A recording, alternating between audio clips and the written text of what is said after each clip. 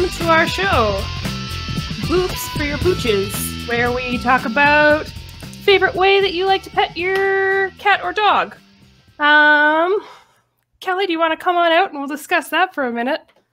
Um, personally, I like to roll them on their bellies a little bit and then like get in between their little toe beans with my fingers and just like give them like little rubs on their feet because they're on their feet all day and it probably gets real sore. What's your favorite way Absolutely. Pet your cat or dog? Well, Nicole, I'll say this. I know you're rolling with what you're talking about here, but I did forget to play my intro music. So Oh, uh, I'm just going to back out and uh, you go ahead and you just introduce me again. okay. Okay, bye. Um, all right, Kelly. Uh, let's bring out our my co-host Kelly, so we can talk about his favorite way to pet his animals. Come on out, Kelly.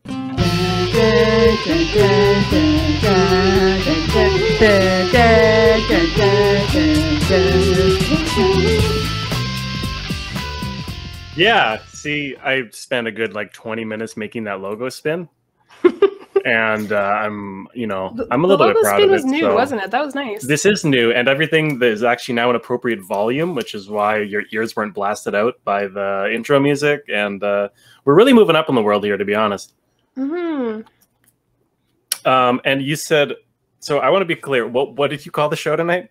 Uh, boops for your pooches. Okay, boops with the unvoiced p at the end. That's that's a good clarification. I thought you were going in a very different direction. Oh, yeah, no, and it's not about breastfeeding your pets. It's Mm, definitely about giving them all the cuddles. okay. So you're asking what my favorite way to to boot pooches is? Yeah.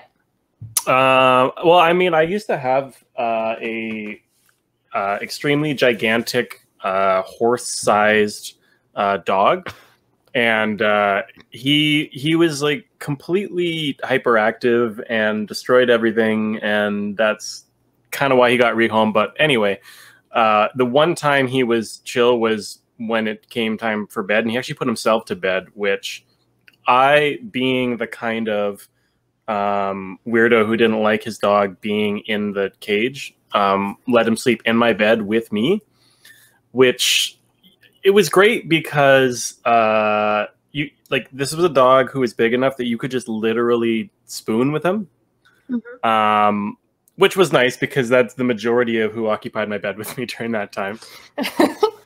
And he would also but he would like i had a you know normal size queen size bed and he would come and lay directly in the middle of it and so you know he was he, like he was not a dog of boops you know that applies a certain like gentleness and like easiness to move Mhm. it, it was sort of like in order to snuggle with this dog uh, and not be falling off the edge of my bed i would have to like drag his 90 pounds of dead weight sideways on the bed just to get room for myself and he would look at me like why are you messing with me during my sleep in my bed? Uh, and it was great. And uh, yeah he would boot me and by that i mean uh, wake me up when it, he was ready to wake up by walking on my face uh, which honestly is the most effective alarm clock i've ever owned. Um, yeah but he really liked to punch people in the dick so it was a dog of contrast. He contained multitudes That's uh he reminds me of my aunt's dog who I dog sit for sometimes. I think you've met him. Um his name is Racky and he is also likes to sleep in the bed with me. He's um he's not allowed to sleep in the bed with his um with my aunt or like any of her family. Um but I'm weak. Um and he also likes to sleep in the middle of the bed, but he likes to be little spoon and he likes to be under the covers. Um so he will like if you don't lift up the covers and let him like under so that he can curl up into your stomach, then he will like just nose the covers off the end of the bed until you have none of them. Mhm. Um, so yeah, similar vibes. He's very uh, not not a super um, considerate cuddler, but certainly a certain a very aggressive one. Hmm. I mean, what what is not the best kind of cuddling, but aggressive cuddling? Like it's a perfect vibe. It's he, he like he had definitely like kind of top vibes for how much he liked to be Little Spoon. He was very he was very he was a very dominant Little Spoon. Hmm. Mm. Uh, oh boy. Uh, w- wonderful to hear that uh, both our listeners on YouTube and Twitch cannot hear us. So, Oh. uh, if Nicole, if you could just uh, move forward by miming, that would be great. Uh, unless our current Twitch viewer wants to hop in the comments and let us know whether they can hear or not, or whether this is purely a page issue. Yep. Yep. Okay. Yeah. No, I feel you. Hmm. All right. Go on. Yeah. I guess it doesn't help if I'm not miming my responses, but I don't know. I was just doing the airplane things. All right. Airplane Well- safety is super important. And speaking of landing planes, I think it's time that we can land a good segue. Because I do, I do have something I want to talk about tonight, and it is, of course, the. Uh, oh, good, it's a page issue. Well, that's typical. So we'll move on. um, yeah, I've been I've been going through this a lot lately um, when communicating with people because I don't know which emoji heart to use, and Mhm. I'm I'm kind of wondering if we can solve this taxonomy with some help from our friends here. Uh, So- sure. Should we bring out our guest for the night and she can help us work this out? Uh, you know, I was I was thinking we, you know, should try to solve it by ourselves before we ask for help, but she has been waiting patiently for a long time and presumably has way more important stuff to talk about than we do. So, um, uh, all I will ask Nicole is that you spend about 10 seconds uh, stalling here while I go ahead and uh, find our guest intro. Okay. Um, No, never mind. I found it. Do you want to let, let me introduce her before we? That's a pretty great video. Yeah, I, this one took me about longer.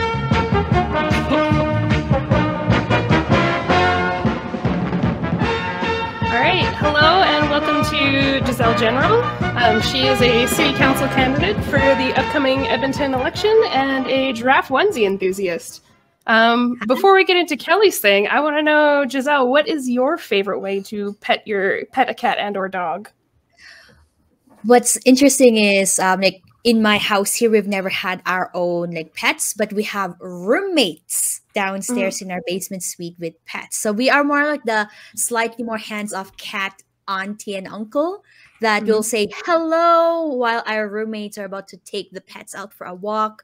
Um, and when we have pets sit with our friends um, my husband is a very good um, cat bed. So he would be lying on the couch playing video games for hours and then the cat would be like on his chest while i'm like the, the slightly like distant but loving auntie so like hey i won't interrupt you because your your uncle my dear husband is being a cat bed so i'll let you be so that's more of my style Hmm. yeah Yeah, it's like having yeah a partner that's really good with kids, and you're like, good for you, and like you still get to like babysit and stuff, but you're like, you go do your thing over there. I'm just gonna be over here na- making snacks.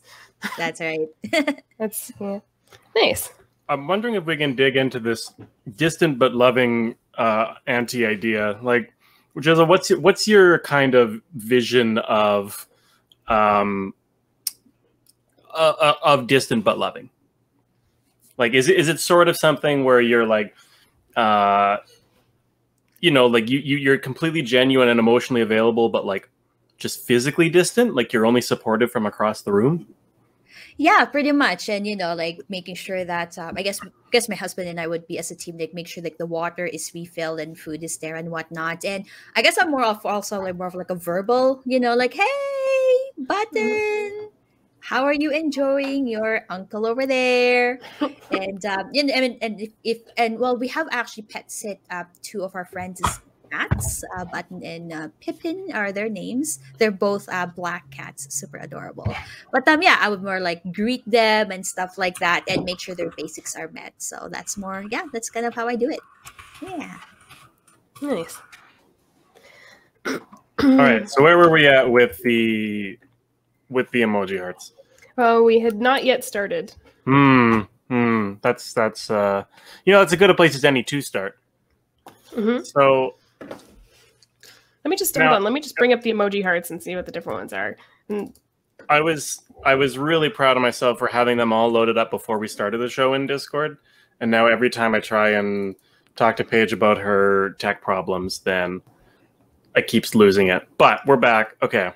So first and foremost, we got the red heart, which I mean I could be wrong. I feel like this is a genuine expression of love. Like, hey, I love you. Is is this a controversial opinion? I mean, I, feel like that's yeah, that's pretty basic. Although, like, I, how are you differentiating that from the other colors of hearts? Well, this is what we're going to get into. hmm So, if this is our baseline, wh- what am I telling someone when I send them the orange heart? Uh, I mean, yeah, I don't know. How much do you love orange? Because I've been told that the yellow heart is like, hey, on the down low, we're just friends. Like, is this is so this a that's like commonly kind of held like belief? the. I mean, that's oh, so that that kind of like goes back to that like roses thing, right? I guess maybe that's maybe how we can like gauge this is like if you if someone gets you red roses, that's like kind of more romantic love. Where it's like I know my dad has got me like yellow roses before for Valentine's Day as like a platonic like here you go, it's roses and it's nice and it's cute, but it's like weirdly needs to overstate that it's platonic. Does like is there more than is there like a, do the roses have meanings for more than two colors or is it just like a red yellow dichotomy? Um, I don't know. Actually, I've never had. I've never. I don't think received roses of any other color. That's not true. I got blue roses, but I got them from my mom, so I'm assuming that was also platonic. Though I can't speak for her on that. Hmm. Okay, so here's here's my pitch for the team here is if the orange heart is a pretty much a middle point between a red heart and a yellow car- heart on the on the color spectrum and red is I love you and yellow is let's just be pals. Is orange kind of the friends with benefits heart? Is that what I'm getting out of this? yeah, I, I'm down with that. like you know if you say like hey you want uh love to have you over tonight orange heart it's like love you have to have you over tonight but i better not see you in the morning like maybe that's sort of maybe that's sort of what's coded into it i don't know giselle what do you think So basically, you, you when, when you decode it, it's like Netflix and chill. yeah. i think so Mhm. Orange, you glad they didn't send you a yellow heart? orange i glad you didn't make that oh you did hmm. oh. okay so now we've got the green heart hmm i don't know giselle you got a green heart in your text message what's your first reaction and it's not st patrick's day. You get a green heart. What, what's your reaction? Um, for some reason, the first word that came up in my mind is solidarity. Like, I think I would, I can, you know, on my Twitter and whatnot, I can totally see it. Um, it's not even through text messaging, most likely through Twitter, like talking about like a political topic uh, and whatnot. And I can actually see some kind people, you know, putting um as a comment uh, a green heart, just like a sign of like empathy or like, yeah, I hear you. So yeah, Yeah. not sure if there's like logic to that, but that's what came to mind. Okay, so now you're not less, you not necessarily you don't necessarily know this person, but they're saying like, "Hey, I, I feel that feeling," or "I know what you're talking about," or "Okay, Yeah. I can get behind that." Mhm. i'm gonna make a note of that i feel like i can use that Mhm. So we have one data point here for the blue heart, which is that Nicole got one from her mom. So I'm wondering if it helps to notice what kind of relationship Nicole has with her mom. Like, is it healthy? Ah, I don't know. Are you my therapist? I mean, some days, some episodes of this show, it feels like it. That's fair. Uh, yeah, I think we have a pretty good relationship. Um, yeah, I like call her a few times a week. We chat an appropriate amount.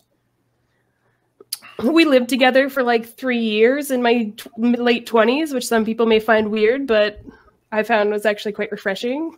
So what you're saying is it's possible that the blue heart is the like I love you, but you got to move out of my house heart. yeah, it's like kind of like a bruised heart, like like a cool heart. Like I love you, but like the intensity of this relationship is chilled for me. Yeah, And I need- like Need to out. that's the uh, I think as Giselle put it, the uh, like affectionate but distant heart. Mm. Mhm, Like I would like to love you from further away. I feel like that tracks. mhm. And then the purple heart goes with a saying, as we all know, I love you, and also I've been wounded in combat in service of the U.S. military. So that's, I mean, that's right over the plate. I don't think there's any question of that. Mhm. I don't know, unless there's other uses you've seen it for. Mm. I did see it once for um oh gosh. This joke is gonna be a lot funnier if I can remember the name of the character. What's that purple guy from the McDonald's Grimace. troop? Grimace. Yeah, specifically for people that like really love Grimace, like big fans. Or like, I love you the way Grimace loves. Does Grimace love hamburgers? I'm not even sure. I, I seem to remember his thing being chicken nuggets, but I'm not. I might just be making that up because he's kind of shaped like a chicken nugget. Hmm. Now, as we're talking about this, I do remember that I did promise Giselle no pop culture references. uh, and we're, we've already blown that promise. Hmm. Well, I mean, if it's international enough, then maybe it's okay. Like I did, I did have McDonald's where I immigrated from. So Well, think yeah, but that did works. did did Grim did Grimace make it to the Philippines? actually yes. So you know, um, yeah, like I mean, I I lived in a small mining village in the Philippines, so I would the only time I would see McDonald's and the characters is when we go to the city. But yes, that uh, you know, purple figure is uh, pretty familiar.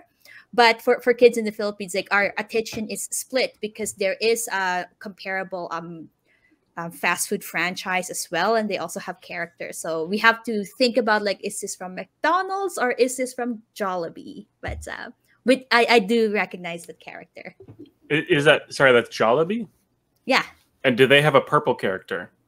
no, they don't. Hmm. Um, yeah, so that's that's kind of like the the the filters. Like, oh yes, um, purple McDonald's. Maybe that's why they haven't made it big internationally. Is they just don't have a purple character to sell their brand. hmm They made it. They were pretty big in uh, Calgary. They opened one up, and there was a lineup around the block. Apparently, when it opened up, they and I think the first like three or five people got like a year's year of free Jollibee. Yep. It was like a whole Wait, for big real? thing. Yeah. Do they, do they have it in Edmonton? They're Uh, four here now or three. Okay. I feel like I've never seen one. Well, then okay, clearly they have made it internationally, and I'm just the the fool here. Hmm. So, uh, okay, so I guess the real question here is: Do we believe Grimace is a creature capable of love? I mean, how do we This define? is- How are we defining love in this situation? I mean, this is the thing I don't know, and this is the thing I expect my city councilors to be able to define for me. So, can you define this abstract concept concept for us, please? yeah, can I, I want you to? I, I want all of my councilors, um, especially the ones I'm not capable of voting for because I live in a different ward, to be able to walk into those council chambers, sit down, flop down their big, cool, heavy, like leather folder of files and opinions, and be able to just state firmly, this is my belief as to whether or not the character Grimace is capable of love. is that so much to ask? Oh my goodness. It'll be interesting which um committee um will that uh, fall under, you know, because there's like city council with like everybody and there's like actual co- different committees. So yeah, I, I wonder where or, like which part of which agenda item for which meeting will that fall under. I mean, if you're bold enough, that's going to be agenda item one on day one. You know, this is the power you'll be vested with. So, um, I guess we could. We should. I sh- I didn't introduce um, which ward you're running for, but you're running for Sipiwiyiniwak. Am I? Did I That's say that right? Did I? Is that Yeah. okay? Mhm. And um, for context for people, because they reference um, former like boundaries also, which is totally cool. It is all of the former Ward Five plus six neighborhoods of the former Ward One around here, around 87th Avenue. Yeah, it's really interesting how boundaries have been changed and merged. Like actually, um, I guess Ward Dene um, has been left out unscathed. So you know, Ward Four, Ward Dene, it's all intact. And for mine, it's just two wards kind of combined together. But there are some wards where it's like little bits of like between four and five different uh, former wards, which is um, a bit confusing for for the people there. So they they have to do a lot of education. The candidates, I mean. Yeah. I, I, do appreciate your use of the words like unscathed and intact, which sort of implies that like the redrawing of the ward boundaries has been a very destructive process. yeah, it's been real like, violent. Families like split up by being across the street and they're looking at each other longingly through a chain link fence. Like, I'm sorry, I didn't I didn't realize it would be happening. And yeah. Yeah, you must have been away that weekend, but it was rough. There was blood and shrapnel everywhere. yeah it's you know what it's it's all in the name of uh you know people having to go and remember which ward they live in and that's i guess that's a positive step it was worth it was worth all the deaths of the rebounding um so giselle you were talking about learning um how to pronounce the new names of the wards um and i we, we uh, I kind of wanted to show that off a little bit because you it sounded like you really had them down. So what was the you you said you started with the hardest one. What was the what was the hardest one that you said you memorized? So the hardest one, which is the one that is a little bit of the former Ward 10, of course, there's a bit some boundary changes there. So that's um Ipiihkoohkanipiaohtsi. Um, I think you spelling wise, it's like 20 letters or whatever. It means mm-hmm. land of the Thunderbirds, if I'm not mistaken. Sounds like a lovely name. Uh, yeah, so I started with that. So, you know, um, Ipiihkoohkanipiaohtsi, um, Sipiwiyiniwak actually is also kind of like middle of the ground for difficulty. Um, with Ward O-day'min, it's actually not the spelling that I mean the pronunciation that confuses me. It's the spelling because it has an apostrophe and a dash in you know in every syllable. So like where do you put the dash? Where do you put the apostrophe? I get confused. Um, yeah, so um, pihêsiwin is fine, and um, you know Anirniq is fine because I have um, you know like the the syllable um, there's are comparable in the Philippine culture, so that's cool. And then you know the easier like Nakota Isga, very straightforward, and same with um, word Métis and Dene. You know that's the easier ones um, on the um, end of the spectrum. Yeah, that's so cool. I mean, I think that if if this helps with O-day'min, that if you try to remember which one has a hyphen, which one has an apostrophe, you can just remember that if the apostrophe was first uh, and the hyphen was second, it would look like uh, a war named after an Irish person named O'Day, and also the minimum amount of it. So as soon as you realize that's incorrect, you can just switch them around. Ah, okay. Sounds great. So, did you want to? Uh, I mean, I don't want to put you on the spot, but do you want to show off and pronounce all of them correctly? Yeah, for sure. So, and actually, I, I posted a few videos of that on Twitter uh, a while back just to encourage um, people to learn how to pronounce it.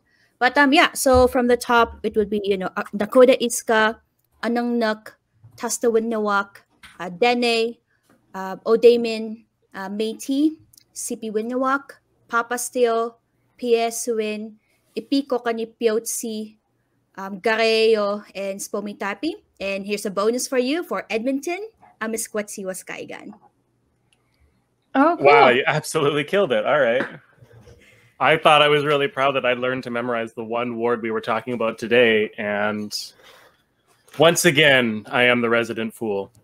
Well, you have some work to do before our next next session. Uh, this is true.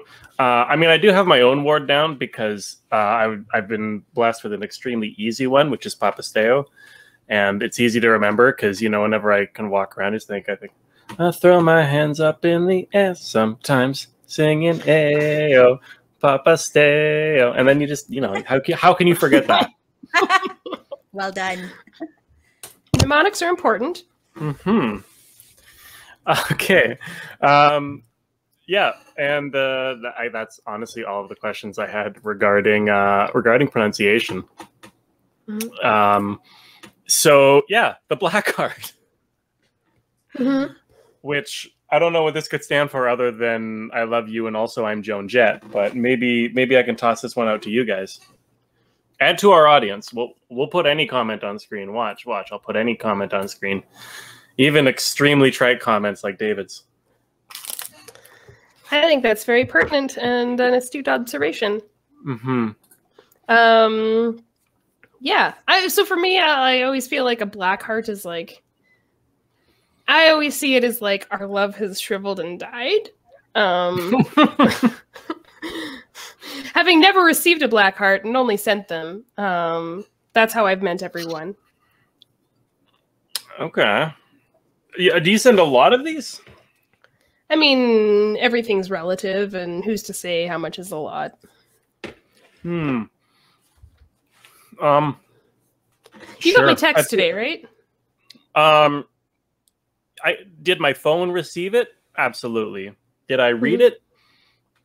I'll leave that as an exercise from the audience. Okay. Well, there's one, I guess, if we're counting.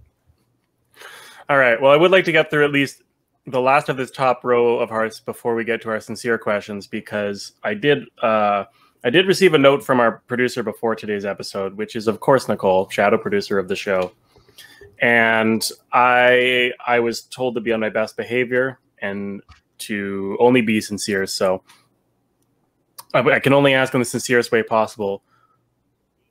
What on God's green earth does a brown heart mean? There's a brown heart. There is a brown heart. I mean, there is in Discord. I assume it's the same as everywhere. Let me look at my keyboard right now. Oh wow. This is a great idea because I don't know. I feel like if somebody gives me a brown heart, this is troubling. Like, you know, it's not a black heart, but they don't find our love to be colorful.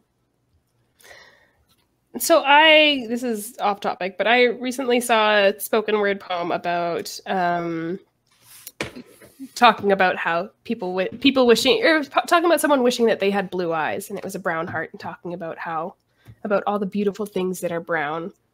Um, and how brown your eyes are brown like the earth that all of our food and our flowers and our trees grow from. And it's like the trees that are and it was it was really beautiful. Uh, if i find it i can send it. But um yeah i wouldn't necessarily take it as a bad thing. Um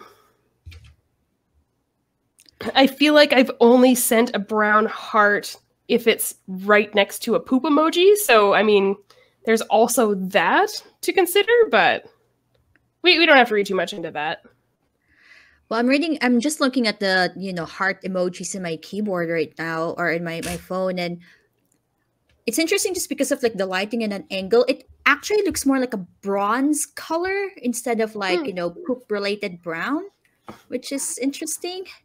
Mm-hmm. Yeah, because you know like a bronze heart might actually mean something in particular. I don't know. Mhm. I mean, bronze, like, bronze is a kind of a nicer way to describe brown things. Um, like, I feel like my poops would be a lot less embarrassing and shameful if I described them as bronze. So I, I might do that in the future. So wait, so so where have we landed? But what is what does the brown heart mean? Or sorry, what does the bronze heart mean? So I just looked it up because I knew that there was a bronze anniversary, um, and apparently it's the eighth anniversary. So maybe it means I love you when we've been married for eight years. That's a very specific emoji. So my emojis in my like Samsung keyboard here, I guess this is the Google keyboard, don't even give me the option of oh no, that's in my message app of the brown heart, which means that I guess it means that they think people who have this phone are never gonna make it eight years in a relationship, which I mean I feel really called out by that. but can you say that it's inaccurate? Well, that's why I feel called out because it's painfully accurate Do you want to talk Oh about it? man, uh, I really want to. I really want to talk about the inconsistency of emojis across devices because my goodness, whenever I try to send, you know, uh, like I, I had uh, an Apple device for a while through work, and so uh, this was a this was a job where we had to talk about a lot of eye roll worthy things, and so you would use the eye roll emoji, which is very blatant. It's eyes straight up. That emoji does not look impressed. Um, but it turns out that same emoji, when viewed on an Android phone, is kind of an extremely like saucy emoji of someone going like, "Hey," and rolling their eyes to the side, which Mm. is like just about the close to the opposite emotion as you can get. So I'm not too sure. I like this. How is this, how is this not being regulated? Like, why is the UN not stepping in and forcing the emojis to be the same? I, I don't know if this is maybe something you could run on Giselle. I don't know if it's too late to update your campaign platform, but if you wanted to run an emoji standardization, I think that would be great. Oh, I wonder what kind of jurisdiction that would fall under. Hmm. Now, something I will pass on to my research team. yeah. Can we also talk about like I feel like we need to have a discussion about people using inappropriate emojis or like emoji emojis that seem off. Like so if you were to set like a, if I were to receive a kissy face emoji, like it's usually either from one of my close friends or my partner. Um, but I have an uncle, and I don't know if it's a cultural difference because he is from Switzerland, but he used to send me kiss emojis all the time as like a okay, love you. This is not a weird thing, by the way. My uncle and I have a very platonic relationship. This is not it's not weird. He means it in like a in like a just a very light, like, okay, good talking to you, have a nice day kind of way. But it's a kissy emoji, and I'm like, how do I explain to him that this is weird? Like, is there like a PSA that we can put out to be like, hey, kissy emojis are for partners or like close friends if you know each other like that, but like maybe not between family? Hmm. Is your is sorry, this is your uncle you said? Yes. Is he Italian? He's I was about to ask, actually. It's Italian. Yeah. He is Yeah. Swiss, which is I hear from people from that live in that have lived in Europe is the opposite of Italian. complete the complete opposite. So no, Yes. like the double cheek kiss, kissy beso situation. Like, yeah. Oh. Actually, that's not true. Actually, they do do the they do do the double kiss in Switzerland, Oh, okay. Which was So really maybe that- awkward when I was in Switzerland, and then I went to France, and they only do one kiss in France. So I was always going in for a second one, and it was like this whole like whole situation. yeah. Maybe that's the emoji for the double kiss thingy. I don't know. Mhm. That's ah Kate, That's all coming together now. Yep, it is a cultural difference. All right. So, okay, I only have one more insincere question before we get to the real questions. And by that, this is actually a very sincere question. I just everyone's going to read it as as different. But so all all of us here on the show, I would say it's it's fair to say that we're single issue voters. And my single issue is plastic lawn signs, which I think should be banned. And I'm wondering if I could get you to run on this platform because I will move to your ward in the next month to vote for you if you say yes. Well, here's the interesting thing. Like, as a first-time candidate, it's really confusing. Like, what you know, what's the Canadian cultural? You know, what are you supposed to do to run a campaign here?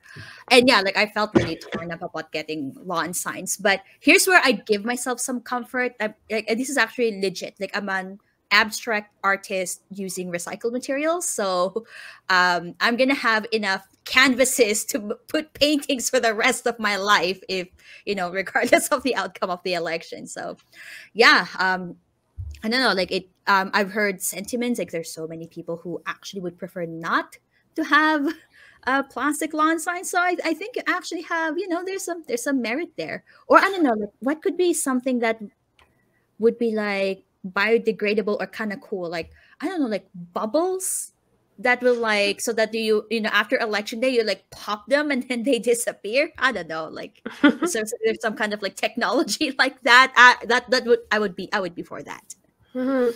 So, Holograph?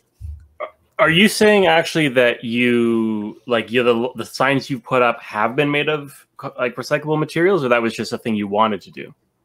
Um no it's just something i wanted to do. So like after Mm. the election yeah like um because because they're actually pretty decent material. Like you know like they're they're they're flat they're sturdy they're you know a, a decent size to make paintings on uh, which i've done before. Um i've done paintings on um, picture frames like the glass like actual like picture picture frames um cork boards um white whiteboards. Yeah yeah so uh definitely doable. Oh, so like the the ones that you have put out, like you are going to keep them and use them for like a lifetime's worth of canvases. yeah Mhm. That's actually a pretty cool idea. Um, I mean, you could even like give them out to like just say, "Hey, I have this man." Like, how many would you say that you have had made for this election? Yeah, I'm happy to share. Um, I had 500 of these little guys, and I have 50 of the large ones, which is four feet by four feet. Okay, yeah. So I mean, you can you could give away signs to like 400 people in your in your ward and still have more than enough canvases left over. Exactly. yeah, I think it's a legitimately cool idea, and I do believe that this could be a cross partisan issue because I I don't think I've ever met anyone who's like, no, we need these. Like, no one loves them. Like, we just kind of do it. I think as a matter of routine. And I mean, for every single candidate that's ever I mean, even if somebody has won an election, they're not going to reuse their signs because they have you have to write re-elect, right? If you've been elected, like you can't just you can't just paint it on your old sign. And then yeah. You could put stickers though, which is actually what I did for my lawn signs. Here's a you know honest confession for you guys. I made a typo on the ward name on my lawn signs, which was stressful. So tweeting this out right now. I'm just kidding. I don't have a Twitter. Go on. so, but what I did is I was able to order from the same company, uh, like a vinyl sticker uh, stickers um, and then just like paste it on. So it, it, was an easy fix. So my hope, you know, in the future, I think, yeah, just like on the corner, like this corner of the lawn sign, maybe I'll put a sticker there, like re-elect or something like that. Yeah. So at, at least that's the idea. Or um, maybe, or maybe, or maybe I'll actually like calligraphy paint it myself. Who knows? Because I mm-hmm. I can do that. So artistic mm-hmm. touch. So did you have like a little like working bee with like your friends? You got everyone together to like stick the vinyl stickers on on all of your lawn signs, or did you have to do that all yourself? Yeah, I pretty much did it myself, but it's more of like a cathartic experience because like while I was like putting the stickers, I was blasting like classic 90s Philippine pop music that I grew up in and it's it's pretty incredible. So like mm-hmm. it's the like really like loud like belting romantic like I love you so much kind of songs and mm-hmm. it was great. So yeah, that's uh you know, it's a way to uh do campaign related stuff that's more like physical instead of you know um, arguing about platforms. So mm-hmm. it's a good mm-hmm. break. yeah, it's like a sea shanty while you're working, just like perfect. Yep. Nice. That's right. Can you give an example of a like classic '90s Philippine pop song? Oh, geez. Does it have? Oh, it I need to give you English ones or what? Or Tagalog? I don't know. I was just gonna if it, if it can be found on YouTube, I was gonna start blasting it in the stream. Well, I will give you a name. Uh, I'll, I might as well give you the name of the artist I was listening to. I'll put it in the chat, but their name is Aegis. Mm-hmm. Um, and you know, if you mention that to like any like millennial and older um Filipino person, they will recognize it. They're they're amazing. They're um it the the vocalists are usually like uh, the two, like two women like sisters i believe but sometimes they have uh, their um, male um, guitarist uh, and doing a duet with one of the ladies. Um, yeah love, love, love it love it.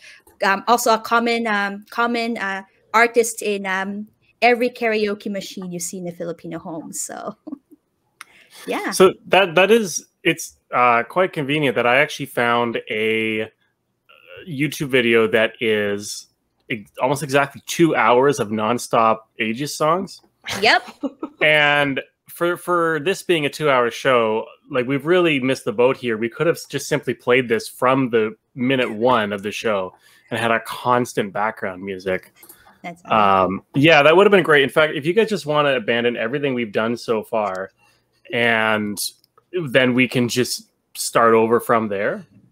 Yeah, that'd be great. I have all, right. all night. Uh, yeah, I mean, who? I mean, we all do, right? None of us are busy. None of us are doing anything. I don't know, important, are we? Like, it's not like we're running for office here. uh, yeah. So go ahead and install for me, Nicole, while I remember how to share my Edge tabs. No, I figured it out again. All right. So here we have the Aegis nonstop oh, songs. Oh, heck yeah! oh yeah. Look at that overall with the one strap undone. That's classic. I I should go for that look. This is what I need. Mm-hmm. Because I'm just wearing a t-shirt. Hell yeah. Like betrayal and romance. So I might as well like translate the gist of the song. And yeah, I don't know how long can you play this without being in trouble for copyright or whatever. So I, I don't know how that works. I mean, if I'm not mistaken, I feel like if we talk over it the entire time without pause, we can't get DMCA'd. But this is the kind of thing a smart person would look up uh, before they get, you know, the before they start committing to this. So um, you could be right. It's possible I should just stop. yeah, but um, well, like I mentioned, like that particular song really popular back then. But yeah, like that talks about you know like that late the, the singer is like very very angry, you know, betrayal. You know, like I thought you were mine, I thought you are true to me, but you broke my heart. Like that's literally what mm. the lyrics were. Hmm. Is that the White Heart?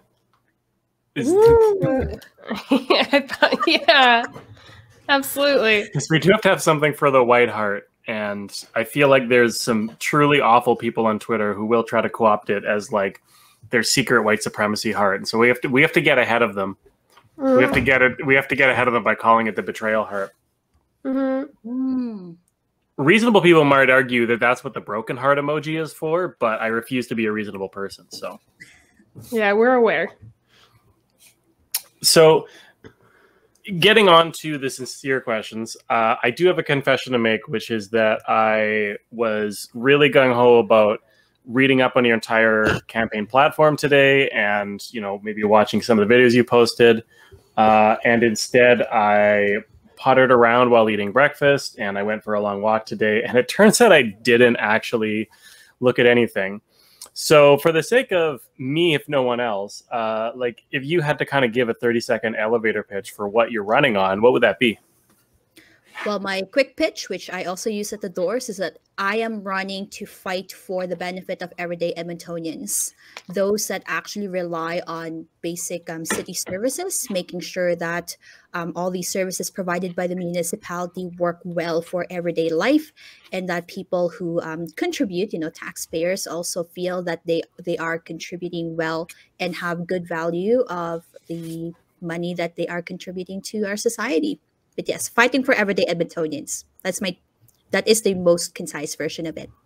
Mm-hmm. What kind of like response do you find you get just as a candidate knocking door to door? Because I mean, politics, as we know, is you know famous for how calm it makes people and how no one ever tires of talking about it.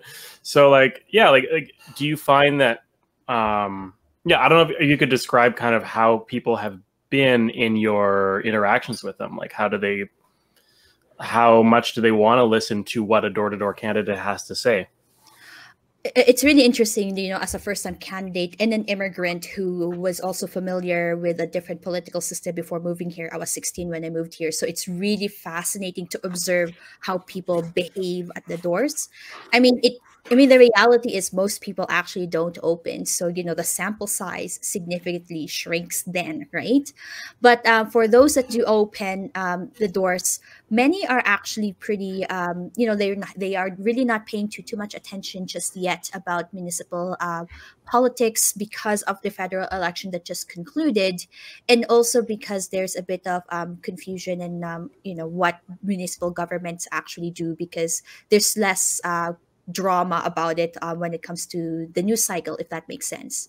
Mm, For totally. those that, um, so sometimes when I have to ask, when I ask questions, I actually prompt them by listing out the different things that the city does. You know, any questions about transit, property taxes, snow clearing, garbage, libraries, police, and sometimes that prompts uh, questions um, so there's a lot of questions uh, I get about, um, you know, taxes, property taxes, um, spending or feeling that they're not getting their value out of it.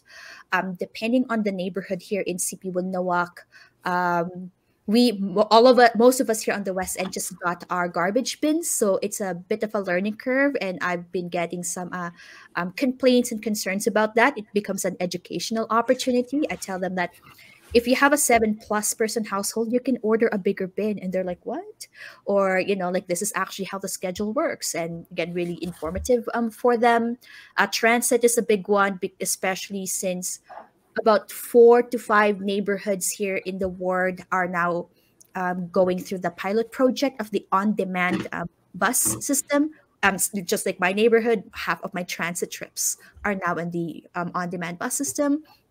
Um, some had mentioned uh, concerns about accessibility, snow clearing, and uh, you know just making sure that every every single like infrastructure in our community a person in a wheelchair can actually get to the answer is hardly no it's not the case at all it's remarkable how many steps are stairs are in every house but you know that's a I'll, I'll, I'll rant about that another day. Um, yeah, so it's a little bit of everything. And whenever I get someone at the door who's a permanent resident, uh, they're like, sorry, not yet a citizen. I also take that as an opportunity to educate and tell them that, um, yeah, sure, you cannot vote yet, but um, what we decide on, it's the most tangible uh, way that governments impact community. So if we have issues about transit and snow, snow clearing and whatnot, let me know. So yeah, that's kind of what I have been uh, uh, getting at the doors. Okay. So, sorry, you talked a bit about the on-demand bus system. What is that? Yeah. So my uh, my more uh, I guess fun analogy, it's like Uber and an airport shuttle had a baby. Like that's kind of how I describe it. But mm-hmm. basically, what happened is you know the city had a citywide bus network um, redesign.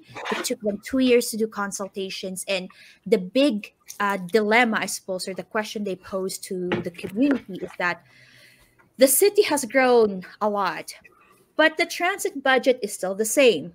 So, looking at these routes, you have to make a choice. Do you want more frequent routes, but you might have to walk a little bit more? Or do you want, uh, you know, yeah, it's a frequency versus um, coverage trade off. and then for certain neighborhoods here in the West End and many other parts of the city, where it's still like a brand new neighborhood, so ridership is really not quite there yet, or we it's just like so isolated that um, ridership has been low for a while. Um, they decided that to to not have a frequent or like a, uh, a standard bus route with like the big bus and have this on-demand bus instead. So you you phone or you um, book online or you th- or through the app you um, you you book a pickup time and then you go to the designated stop it picks you up and then it takes you to a transit station or another uh, neighborhood nearby that has the on-demand um, system or to a major road. So for me here in um, rio terrace it can take me to cameron heights it could take me to west edmonton mall meadowlark and some of the neighborhoods around like parkview and sherwood. But um yeah i mean I had to be an expert at it because of necessity. So I also take that as an opportunity to discuss it with people because people are really upset that it, it that their neighborhood has has has lost their frequent nice big bus and now had this on-demand bus system instead and i tell them that i'm not thrilled about it either but like seriously please give it a try and give like constructive feedback with scheduling and capacity and whatnot. Yeah, mm-hmm. overall, uh, yeah, it's it's actually working okay. I can see the merits of it, and um, yeah, it's already September, so there's just about a year and a half left in the pilot project. Right, right. Because so you don't you I saw in your uh, website it says you don't drive, so you take transit exclusively. So you can Uber, kind of, walking, yeah, that kind of thing. Yeah, yeah, which is a, a cool perspective to have when you're running for like city councilor, right? Because I don't know how many city councilors have that point of view.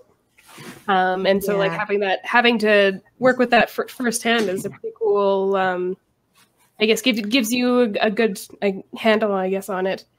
That's yeah, absolutely. I mean, some councilors, or I think even the mayor, like they do take transit sometimes. Like uh, there are actually times like I see them on the LRT and whatnot, but it's a different frame of mind when you cannot drive and when you miss the bus and you're like, oh crap, I'm stranded, which has happened to me uh, many, many times, whether at West Edmonton Mall, at the university, South Campus, um, and all of those some different places. So yeah, like there's a it's a it's a different way of living in the city if you're unable to drive. So yeah, and I really want to bring that perspective um, with my community engagement. It's also why I volunteered for three years for the Edmonton Transit Advisory Board, which we do have in the city. Mm-hmm.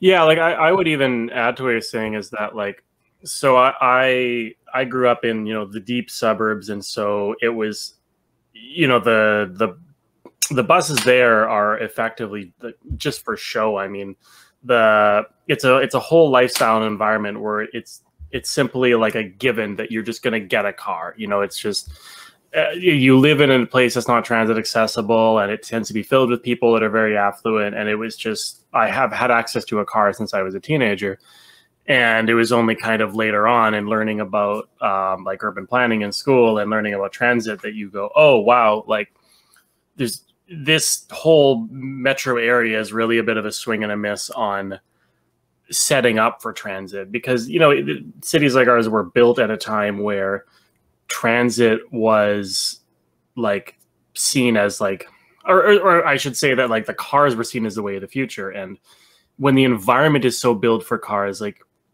you can only make the buses so good. And so I, as somebody who owns a car and you know has benefited from that and really wants to use transit more, it's it's prohibitively difficult so often in that like it's you know even the car aside, like it's faster to ride my bike most places than it is to take transit. But you know, in winter that doesn't work. And so as and uh, as somebody who has already committed to the expenses of owning a car, the the registration and the insurance, um, for me, looking at a bus fare that is, you know, costing me six dollars now to go anywhere, um, or committing to another hundred dollars a month for the past, it's it's it's prohibitively expensive to get into transit because you know I I make enough money to maintain a car, but not enough really to have the luxury of throwing on a transit pass on top of that. So I've I've often kind of found that's one of the like frustrations I've had from living in Edmonton is you know I've been to cities with wonderful transit and it's I just wish I could explain to people how nice it is to mm-hmm. be able to like like imagine living somewhere where somewhere is across town and you can you can hop buses on there and you you'll never want for a car. You know, like that's how it was in in Seoul and Tokyo and Kobe and places like that that I went. And it was so it's so frustrating to come back here and it's just this endless expanse of asphalt. And yeah, so I don't know if I should lead up to a question here. That was just my rant, but mm-hmm. No, well, one thing um, that's probably worth mentioning, and I am personally looking forward to, is we are um, entering the modern times, and we are going to have a digital way to um, pay for transit fare. You, it's the ARC card system. It's like the Metro Pass that uh, New York City has. So we are finally getting it soon. Um, it's going through it. It has a. It's going through like a pilot stage right now, so not everyone has access to it. I think full mm. implementation is 2022. But yes, since I take the bus on a regular basis, sometimes carrying lawn signs to do campaign related errands. Um, yeah, I have seen people um, enter. You know, tap the card onto the machine and hear like that beep and then you know on their way out they tap it again and i'm like this is real okay i'm excited so it's mm-hmm. happening soon yeah.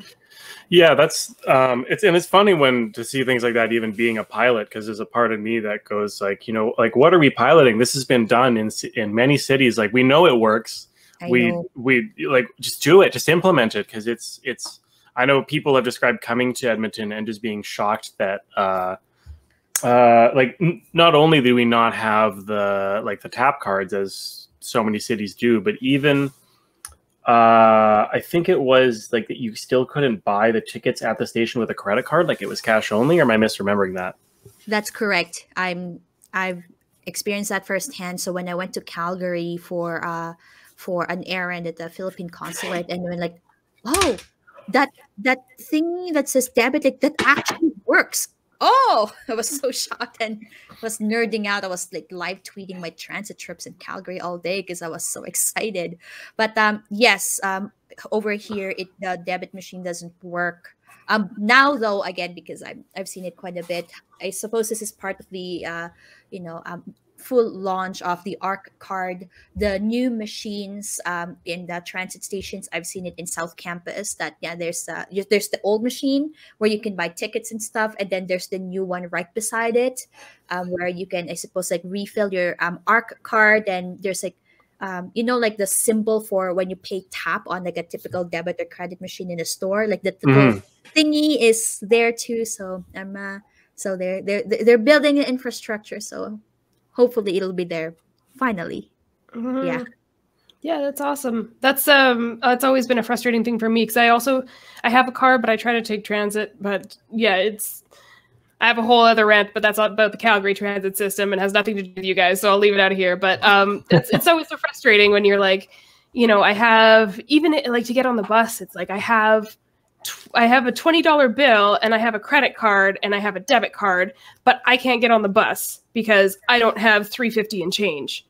Um, and it's very mm-hmm. frustrating and it's like makes no sense. I'm like, why why do I even have all these thing ways to pay for things if I can't pay for like the one thing that I need right now? Oh yeah, but, totally. Mm-hmm. Mm-hmm. So I'm curious. You you mentioned uh, that you were making an errand to the like the Philippine uh, consulate. Yeah. And so, yeah, I, I think it'd be like a unique perspective to hear about like what is your kind of like I mean, what were you doing there that day? But like, what is your relationship as a uh, as an immigrant to like your country of origin? Like, I don't know if you have anything to speak on there. Oh boy, where do I begin? That's why I have a blog on this, and I and actually, yeah, it's worth sharing. Like, I do have a personal blog where I documented my life story, and um, I'm starting to it, it's it's a bit of an emotionally draining experience to share like my life story. But I, whenever I get requests from um, different projects, you know, like share to me your life story, and I'm like, yeah, of course, I'm more than happy to because um, there's a lot of these projects now, you know, collecting stories of immigrants from all over the country, and there's different ways that it's presented. You know, like I contributed to an anthology of Edmonton immigrants and I contributed to an anal- um, anthology of like, you know, I guess amazing, you know, 150 immigrant women. I'm like, oh, okay, sure, I'll, I'll pass my story. But um, I guess long story short, um, I was 16 when I moved here, and I, you know, before that, I grew up in the northern Philippines, um, you know, mountain region and that kind of stuff um, uh, my brother and I are orphans. Like our parents died in a well, we were there too. Like we had like a very like bad like vehicle accident, and uh, my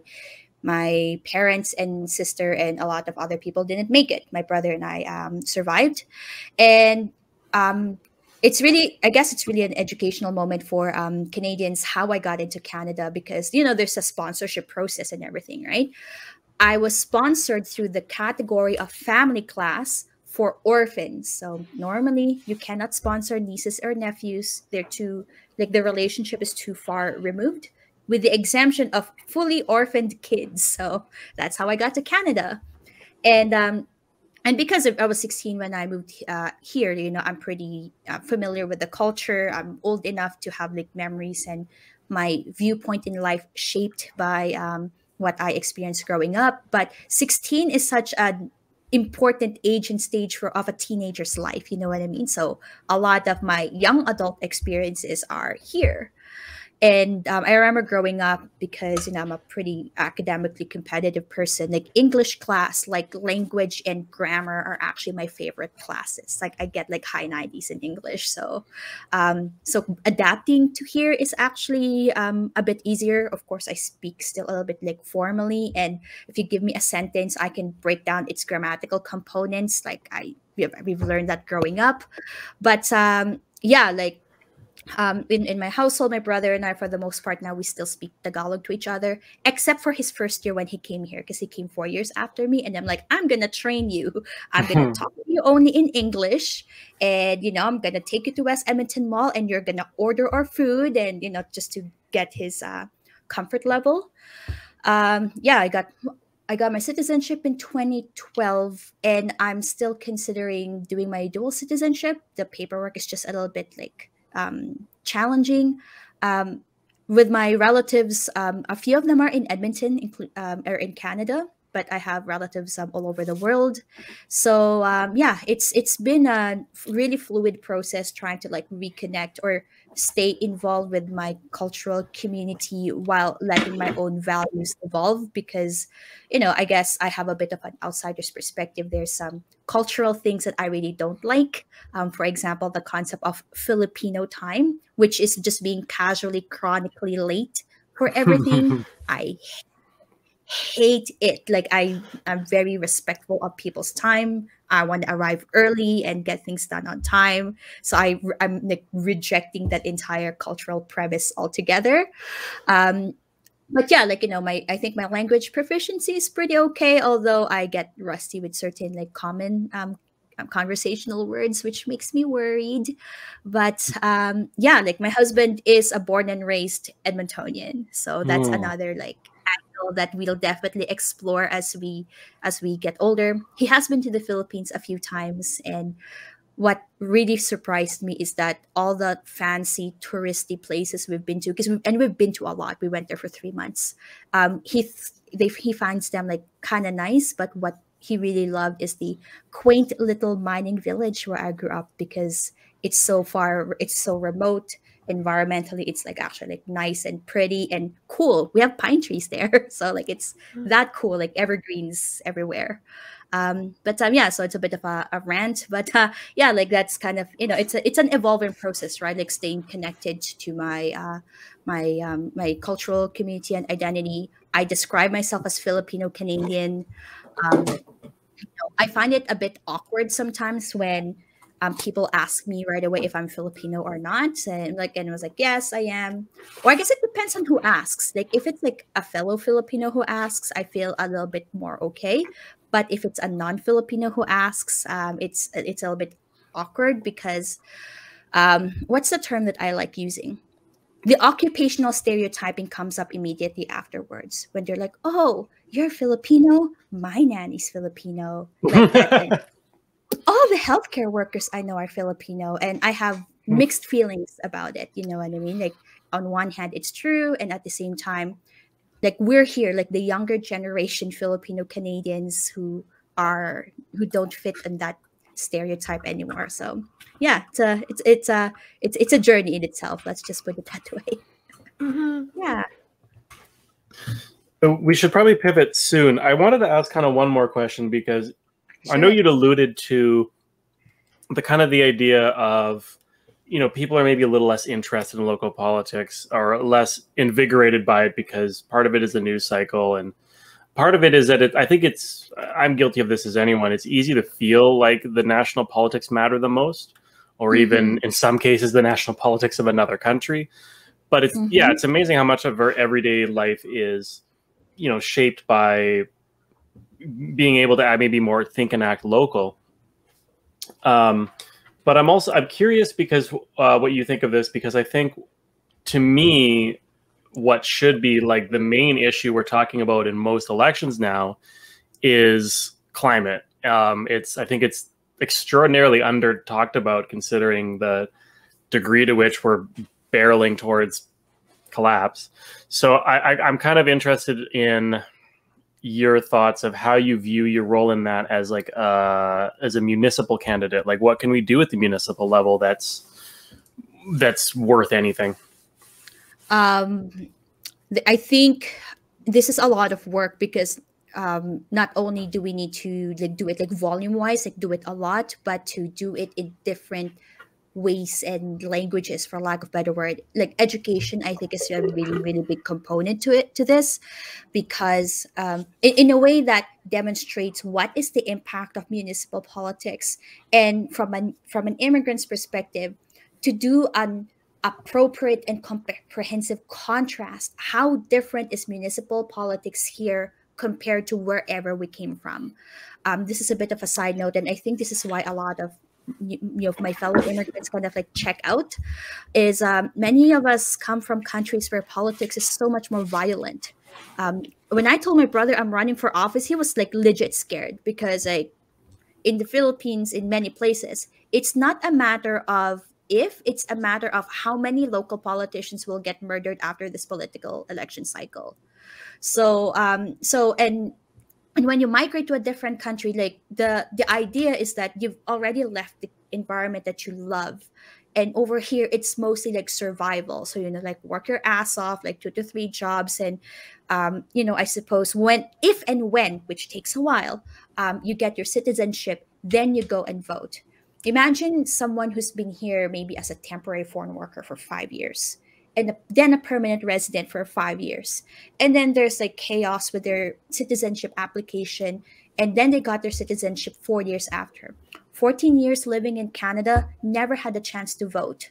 So how how, how can you even like educate and tell people to get engaged before they're able to vote and then addressing the like misconceptions or like not feeling like you belong in the political conversation in this country. So that's uh, and that's a huge one because people come to Canada at under like different types of visas and whatnot. And um, if, for instance, if you've been a if you hold like certain jobs and you know have never been part of your community league or whatever, like you feel entirely like disconnected from political discourse during your entire time in Canada. And it, so like flipping it to the born and raised Canadians, for lack of better word. Um, yeah, I think um, I'm starting to learn that you guys here um, learn about civics in grade six. You know, there's like City Hall School or whatever. At least that's the case here in Edmonton. I really think that um, in, incorporating it, incorporating it more in other classes in junior high and high school. Um, you can tell like I didn't go to high school here. I think you guys have a thing here called CALM. You know, like yeah. skills course or whatever. So incorporating it there might also be handy. Um, and um, and yeah, and part of and then another angle that I have noticed is I know there's a, like uh, the budget of a city councilor is very limited, so it's not like they can send you know the same like amount of like mail brochure things as like federal politicians or whatever. But I think um, constant like presence and communicating would actually help a lot. And that's how that's why i do my videos and social media and whatnot. It's really it's really reaching out to a lot of people who are not um, really engaged or uh, are not very aware of how things work municipally. And um, i think i think it's making at least a little bit of an impact. But yeah like a lot of i guess continuous relentless like educating i think and you know telling people why is it important probably translating it in different languages. Um, yeah there's a lot of uh, communication i think that uh, that needs to happen to help change the mindset as far as uh, impact of municipal government. Yeah and i think it would be nice to kind of um, be able to change that um, like what you specifically alluded to about the fact that even permanent residents aren't able to vote on the issues of places that they do live, and I I, I kind of personally think there's a lot tied into like what to me is I don't know just dumb and sucky about the whole immigration system in that it's it does so much gatekeeping towards people for the crime of being born on a different patch of dirt. And I don't know. I feel like we could get into this, but this is probably another hours long rant, and we probably Absolutely. should bring out our uh, our GM here, Josh, because I know he's got uh, he's got a comprehensive um, platform for immigration reform that he's just dying to share. So, yeah, we can bring out Josh right now.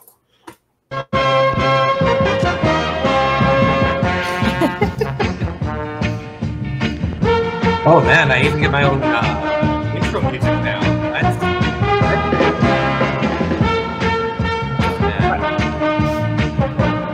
so fun fact, by the way, when I was going to college uh, for political science, I did end up having to write a master paper on immigration policy because I fucked up a group group project. So, uh, I mean, that's about ten years out of date now, but I do remember being quite upset when I was looking at immigration policy at that point. Maybe because I did it for 12 hours straight, or maybe just because the system's bad. Maybe both. Mm. But actually, uh, before we get started on this game, I have to say that I was super happy to hear you guys talking about the transit stuff.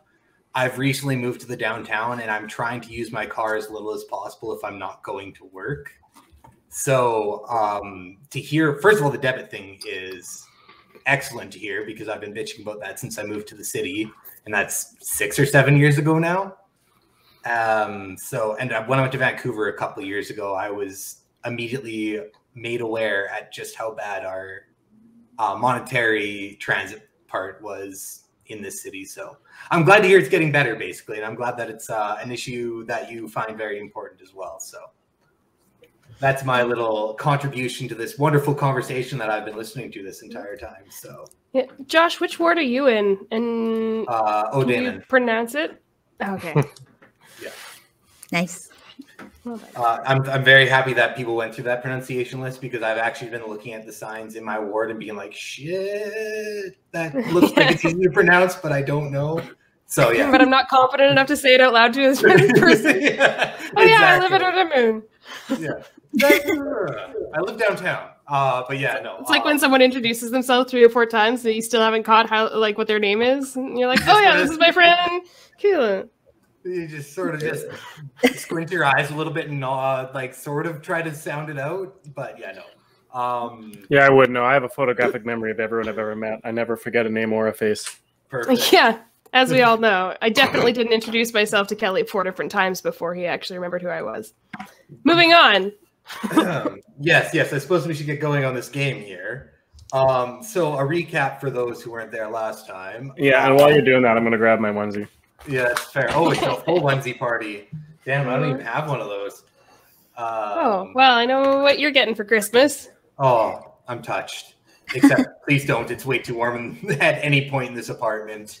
It's So- yeah, this is very warm. Yes. What an argument.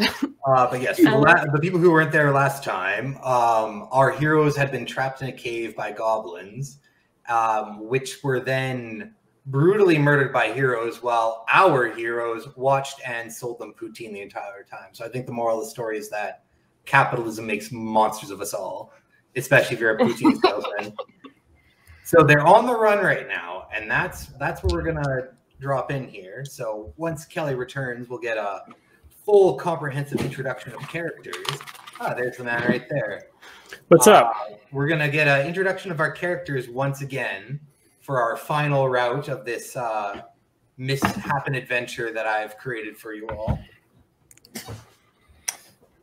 So, uh, Misha- like, are you mispronouncing the word misshapen? no, Okay. um, making up words because the English language is a wonderful thing where you can just jam stuff together, and if you have enough context to it, people will sound it out and it'll work. That's actually Josh, the name of Josh's new blog about things that are happening in Edmonton, um, which he writes under the pseudonym Misshappen. Yes, yes, definitely. Thank you. I would clap, but I don't want to make my microphone pop. Fair. Uh, Josh, yes, actually, we can before we go on. I need- did, I didn't even ask you. What's your favorite way to pet your cat and or dog? Well, the nice thing about this cat that I've gotten recently, who I would show, but she seems to be sleeping and I don't want to bug her, is that she loves tummy rubs and not in the way that most cats do, where they like show their belly and you're like, oh, they want a belly rub, and then they immediately just start like clawing your hand up. She Mhm. actually like flips over and just like, please just rub my belly for as long as possible. Uh, so that's usually how I engage with her. Is I'll walk over and annoy her, and then just tap her belly, and she'll flip over and I'll rub it. Mm. like that you guys have this nonverbal communication thing going on where you just have to poke her in the belly and then she flops. Yeah, straight up, it's great. That's I've only had her for what two weeks now, and she's just like she's always lived here. Mm-hmm. Made for each other. So it seems. But yes, so onto the game. Um, we'll start with you as usual, Kelly. What what uh, what was your character again? Why don't you remind the audience? Uh, my character's name is an Angina pectoris. Um, she is packed and stacked, especially in the back. And Angina has spent years chaining one scheme after another to cheat her lovers out of their disposable income. Uh, of course, she caught a little too much heat on the last one and needs to lay low in the last place anyone would think to look for her, doing honest work. Now, I of course I wrote that before this whole adventure started. I'm not sure that Angina has done the best job of laying low, whether that's by yeah, like hanging out with people that are well, I was doing honest work. And no, you're right. I, yeah, I kind of stopped that also. Yeah, I feel like between hanging out with the like eye gouging people and getting wrapped up in a big scheme to like marry this, I don't know, weird chieftain of an orc village to I don't know, the whole debacle with the like reanimating rat zombies or whatever last time. I, I feel like Angina has actually been very visible, and this is probably not uh, in her best interest, but we'll see. And next is Nicole. Okay. Um, so my character is uh, Gondelf. Um, I am a an elf and wizard. Um, uh, I got lazy, and when I was filling out the "What do you look like?" category, and so I just decided that I look like whatever your perception of an elf is. That's how I appear to people. um, but uh, basically, I'm a wizard who is working hard to put themselves through wizard college. Um, but despite taking out a substantial wizard loan, I've been forced to work a part time wizard job selling frozen goat's milk treats at my parents' ice cream business, the Fairy Queen. Perfect, perfect. And now, finally, our guest here, if you would not mind uh, stating what your character's name is and what they do as a food cart entrepreneur. Absolutely. So my character's name is Genevieve Gazelle. Um, I am a human who happened to uh, skin a giraffe and has it as my standard uniform while I'm operating my business. My business is I sell uh, burritos that named after precious metals. I haven't had a name of my actual cart yet, but the uh, the top three items of my menu are the golden guacamole, the silvery fishy tacos, and the platinum level beef burrito. Brilliant. Perfect. Uh, I'm just going to write down one of those because that golden guac actually sounds amazing. and I need to need to remind myself of that whenever I have the chance because if I ever open a burrito stand, that'll be what I'm calling it. I might awesome. put gold flakes in it since that seems to be the trend right now with influencer food. Hmm. So well, it's trademarked now, Josh. So oh yes, this is true.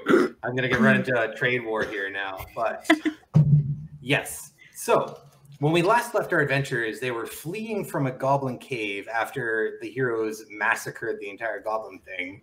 And so it was it was horrible. Like there's been so much more blood in this campaign than I expected there to be. Uh, so as you're running away from this cave, though, you hear the sound of almost like a muffled crash, like like something that was being moved coming to a direct halt. And when you look, you see that there appears to be someone in some sort of animal skin outfit with a cart with its wheel fallen off. And being that you guys are on the run right now from fleeing goblins and potentially heroes that are stuffed on poutine now, uh, maybe that cart would be a good way of getting out of here. So, what are you going to do? My two intrepid long-term heroes here.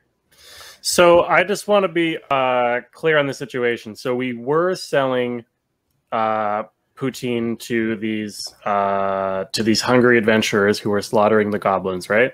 Yes. As and they, then they were running out there, killing a bunch of goblins, getting tired, getting hungry, coming over for a quick poutine, and then going back to the murder. You know, keeping their carbs up. This has right. a very like small town hockey rink vibe. There's a canteen and it only serves poutine and Twizzlers. Yeah, I'm, I'm getting some flashbacks, that's for sure. okay, so what has uh what has happened to our business venture? Like did it collapse or did our former friends here just run off with our money or what? Uh, yeah, you got scammed by the um, the necromancer that was actually a rat operating a, a zombie corpse. Uh, See, what happened? This, this is why I was trying to railroad that guy's plans. I knew he was up to no good. All of yeah. these guests have been very untrustworthy so far. Basically, you know. while he was operating his own shaking your hand doing the business stuff, uh, his other remote controlled zombie walked away with a bag of gold. So, mm. you know, you can't trust a necromancer. Classic bait and switch. Mm. So you're still broke. You don't have any more poutine to sell, and you're on the run. And now you've founded this cart here. Did did I was I able to at least abscond with um with my ventriloquist dummy? Uh, I believe his name Endo, but also randomly changed his name to Spanky by accident when I wasn't paying attention. and uh, Spanky is just what he does at night. So yes, right. you still Endo. Okay, I still have Endo. Is is Gondelf still wearing Endo on her head with like a that like jumpsuit pulled over to make like the dummy's head is her head? Uh, I expect at this point she has probably handed over Endo back to you. You know, because you don't feel right without your ventriloquist dummy at your side. All right. Um, so we're, we're there's this card is now in front of us.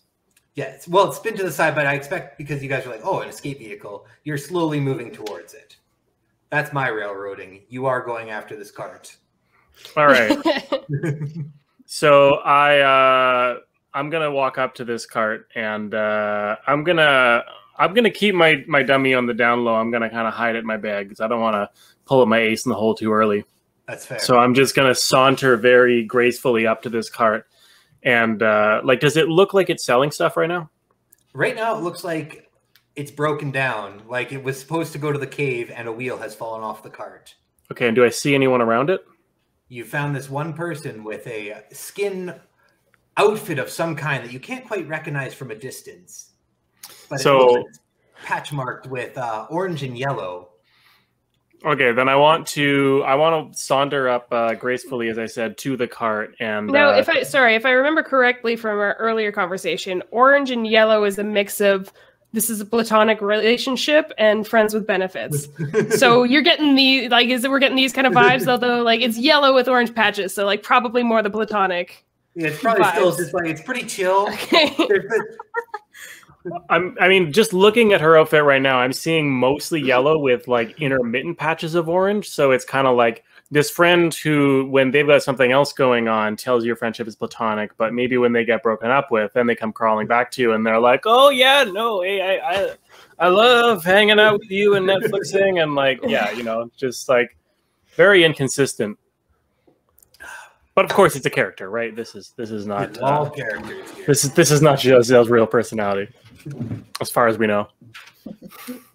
Okay, so I, am going to saunter up very gracefully and uh, kind of airily just say, "Oh, hello there. Are you are you currently selling any any beverages? Oh, I am parched, Missus." Uh, that was me. That was me addressing Genevieve Gazelle, or this person who I do not know yet. I like to use the French French pronunciation of Genevieve. I'm well. I'm, oh, is it? Oh, it's pronounced. Oh, it's spelled that way. Is it Genevieve? Yes. Genevieve uh, Yeah, we'll, we'll, we'll do Genevieve for simplicity's sake. We'll oh, we can do Genevieve. I yeah, no, okay. no, no. She said Genevieve. It was me and my being a nerd who knows French uh, issues that kind of stampeded on this. So I, I, I walk up to this um, to this person whose name I don't know yet, and I say, "Excuse, excuse me, miss. Do you do you have a do you have water?" Well, let me take a quick look at my cart here and see what I got. And unfortunately, I don't, but I have a big tub of salsa. Will that be adequately hydrating for you? Uh, I'll, I'll I, I take whatever she offers me. I'm gonna just chug some salsa tight. That's that sounds brutal, but that's all, all the power to you. You feel you feel the salsa slide down your throat, and you are invigorated. Um, can I just get a little because we haven't done any rolling yet? We're already into the game good. Can I actually get you to roll a body check here? I will. Yeah. To see how well you chug this salsa. I'm I'm trying to chug the whole thing. I mean, you're taking a drink of it. Okay. Okay. okay. Uh, well, I'm gonna apply my minus one to this roll. So I got uh, I got a nine on drinking salsa. Oh, oh man, you don't you, have anything I can dip in the salsa. I don't know. I want to drink it. well, you don't. So unless you're dipping your dummy in there. Um, I mean, my my uh, my dummy is made of like tortilla chips, so. Oh yes, of course. But uh, you know, you uh, you drink the salsa successfully. Any chunks of you know onion, garlic, pepper, whatever's in there, go down without a problem. Uh, and you feel satiated? Question mark. Mm. yeah, I I mean as satiated as you can be with salsa. Uh, I, I I decided to strike up a conversation with this person who seems pretty nice and not likely to gouge out anyone's eyes or anything. So I say, "Excuse me, there, miss. What is your name?" Well, my name is Genevieve Gazelle, and you are. Ah, I am Angina Pectoris, and this is my assistant, Gondelf, and I point backward to to Gondelf. And uh, oh, and you you must be from out of town. Are you are you from the Western Mountains by chance? Um, I actually cannot remember where I came from. Like things have been a blur on this journey here, and I've been too dehydrated to understand your question. That explains Hmm. why there's no water on the card. Yes. Mhm. Mm. Uh, Oh, so, Gon, you were just called the, the assistant of Angina. Do you have anything you want to say to that? Uh, well, I mean, I'm being an elf. I'm like pretty used to being like dismissed as like only the secondhand characters. Um, so I'm like just kind of roll my eyes and like kind of whatever about it. I'm like too exhausted from selling poutine to fight about it.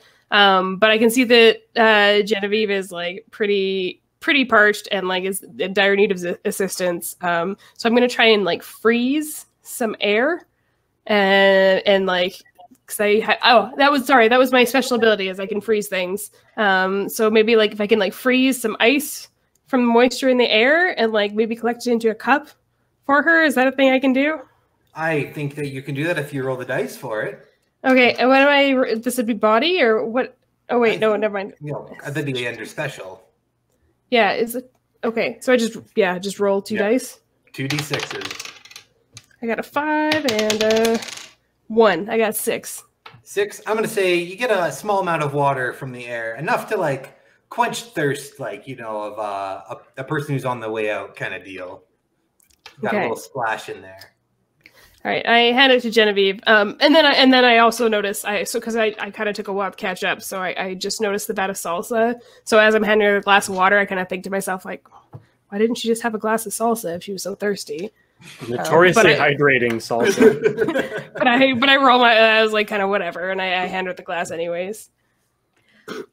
All right. So everyone's hydrated for better or for worse here now. Some with the tangy flavor of salsa on their tongues. Um, so what are you guys planning on doing about this wagon right now? uh, I guess we're gonna like. Does it look repairable? It definitely looks repairable. You think you can get away with just replacing the sort of center plug of the wheel with just general a piece of wood that you could cut off a branch or something like that. It- basically jury rig it without too much effort. It's it's not a terminal fail. It's just that damn mass produced bullshit these days. Nothing holds together anymore, Mm. basically.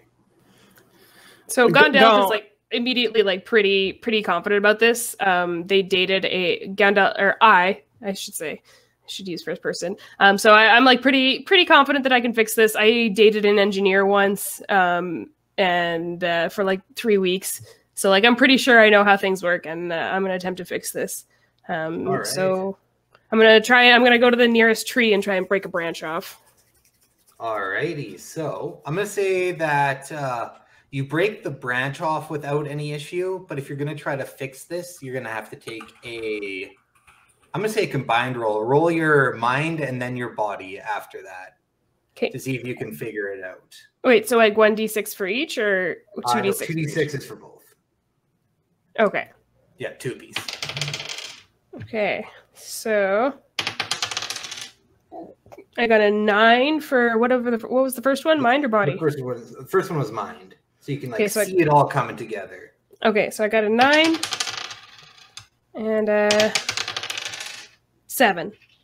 Seven. Okay. So in your mind, you can see it all come together. But much like somebody who can visualize a beautiful painting in their mind but can't paint, it doesn't quite work out the way you planned it. Oh, And when you attempt to move the cart to put the wagon wheel back on place, you find that you just don't quite have the strength to do it by yourself.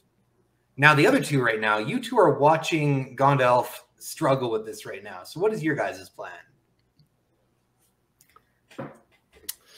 Um, I, I mean, I guess I just want to like offer to help. Um, like, can I can I kind of like boost her ability to do this by?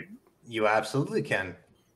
Okay, how, Just give me a little body roll as well.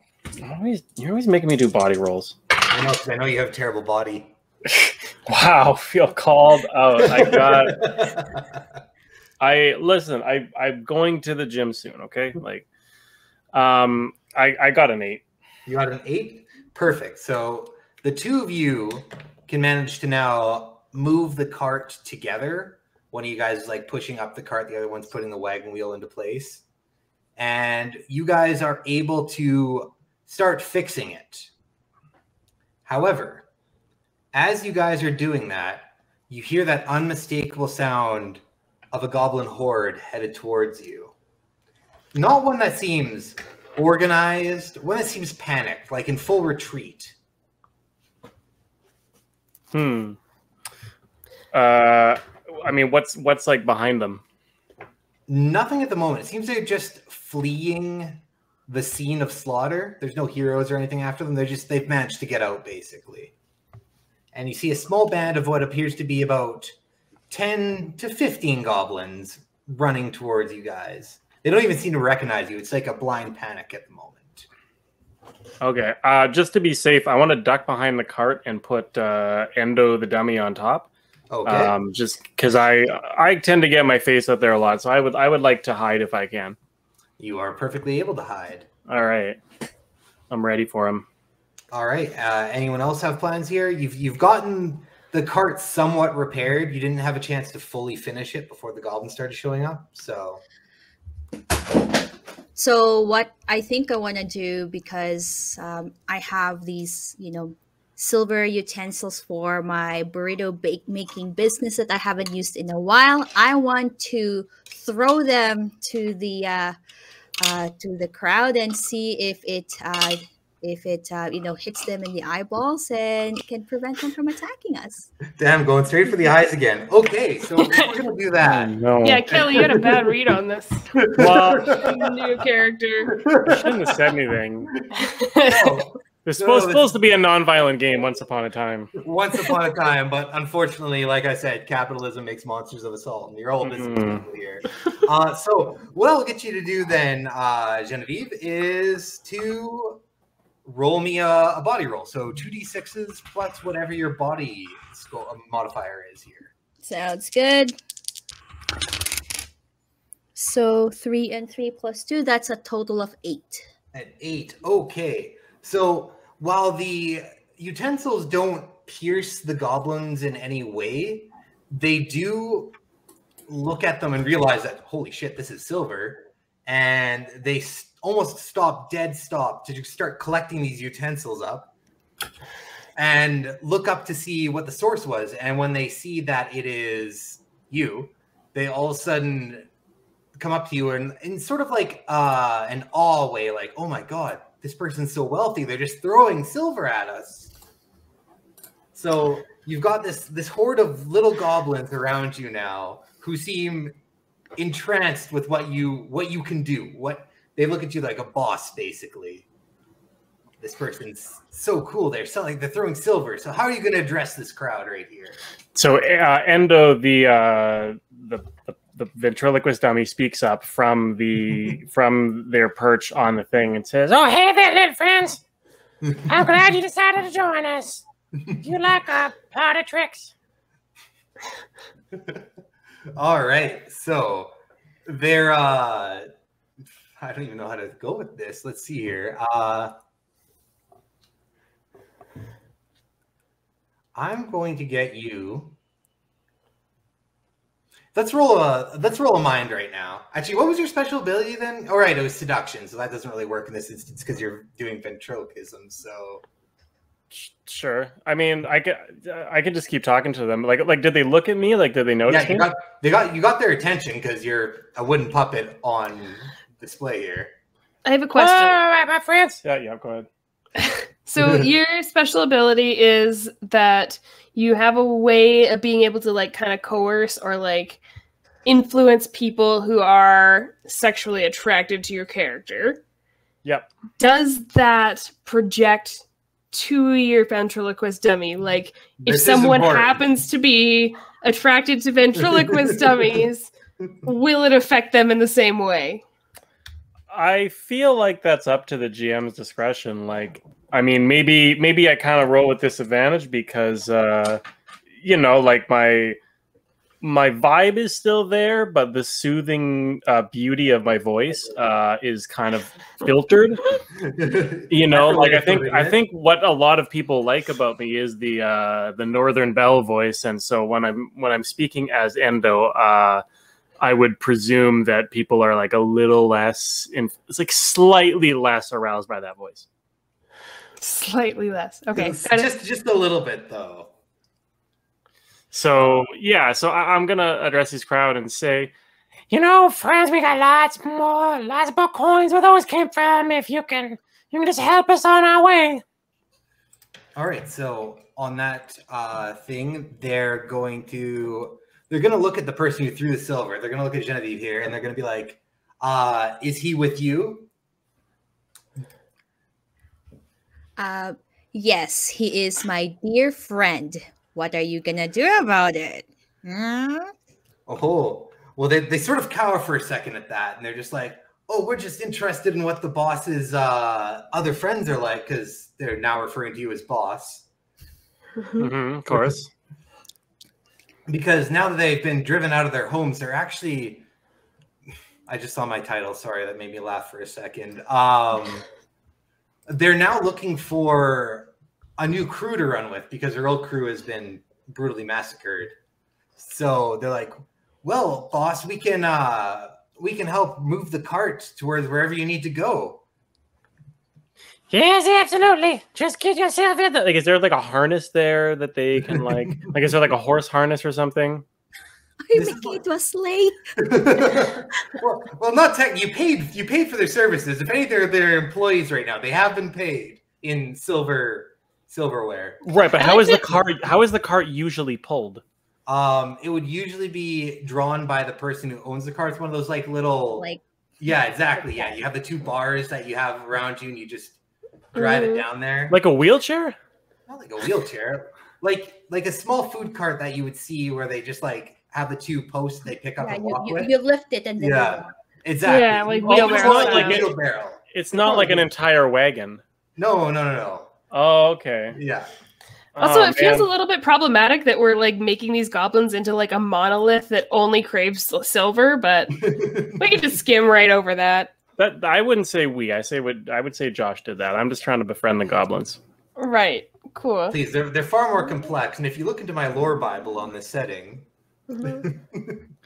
Okay, so like, I mean, we need we need to scan these goblins somehow. So, uh, I guess like, um, like, do they have anything on them? Like, have they fled their homes with like the any clothes on their back. The clothes on their back? Yeah. Um, Can I? Are you gonna take the clothes on their back?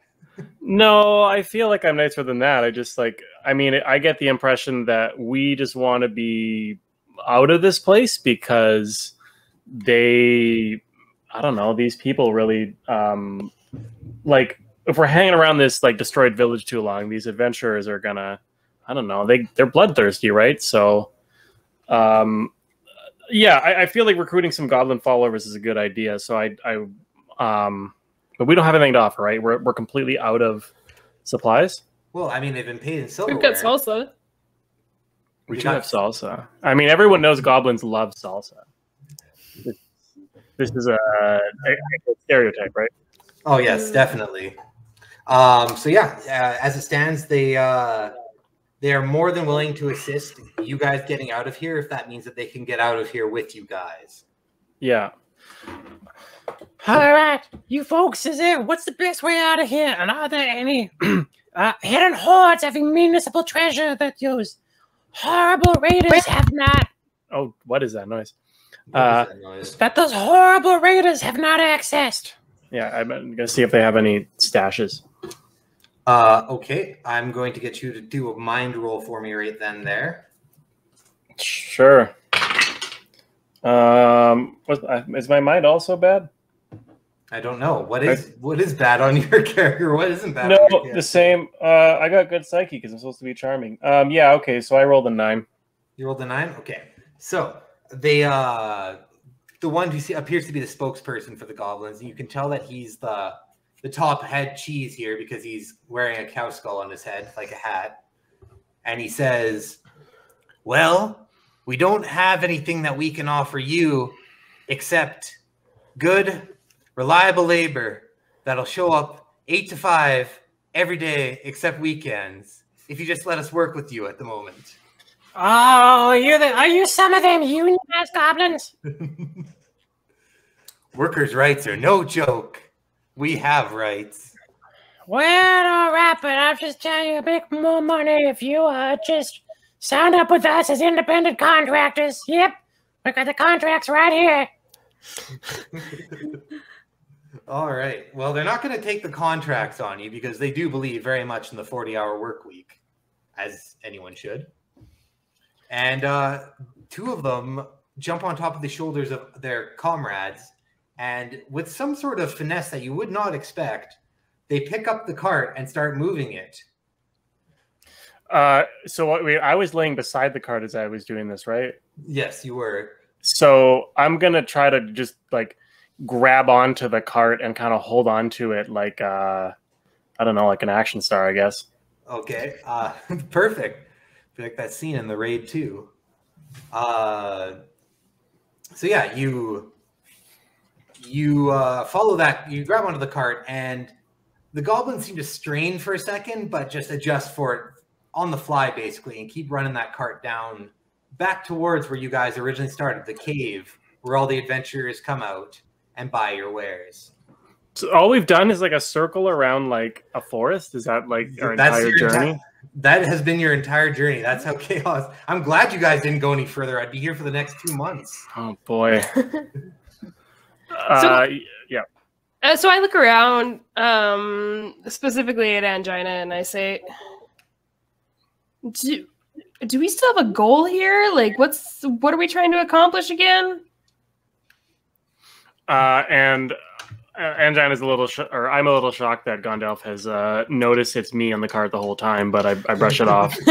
Um, I say, "Li- listen, Gondelf, all I've ever been trying to do is break even, and I'm pretty sure I've lost money so far. So we got two options. and I, I, I kind of, like, is the whole cart moving? The whole cart's moving right now. Are we all in it? You guys are well. You're hanging off of it because this is a small wheelbarrow cart, basically, Right. uh, and the other two are walking beside you. Yeah.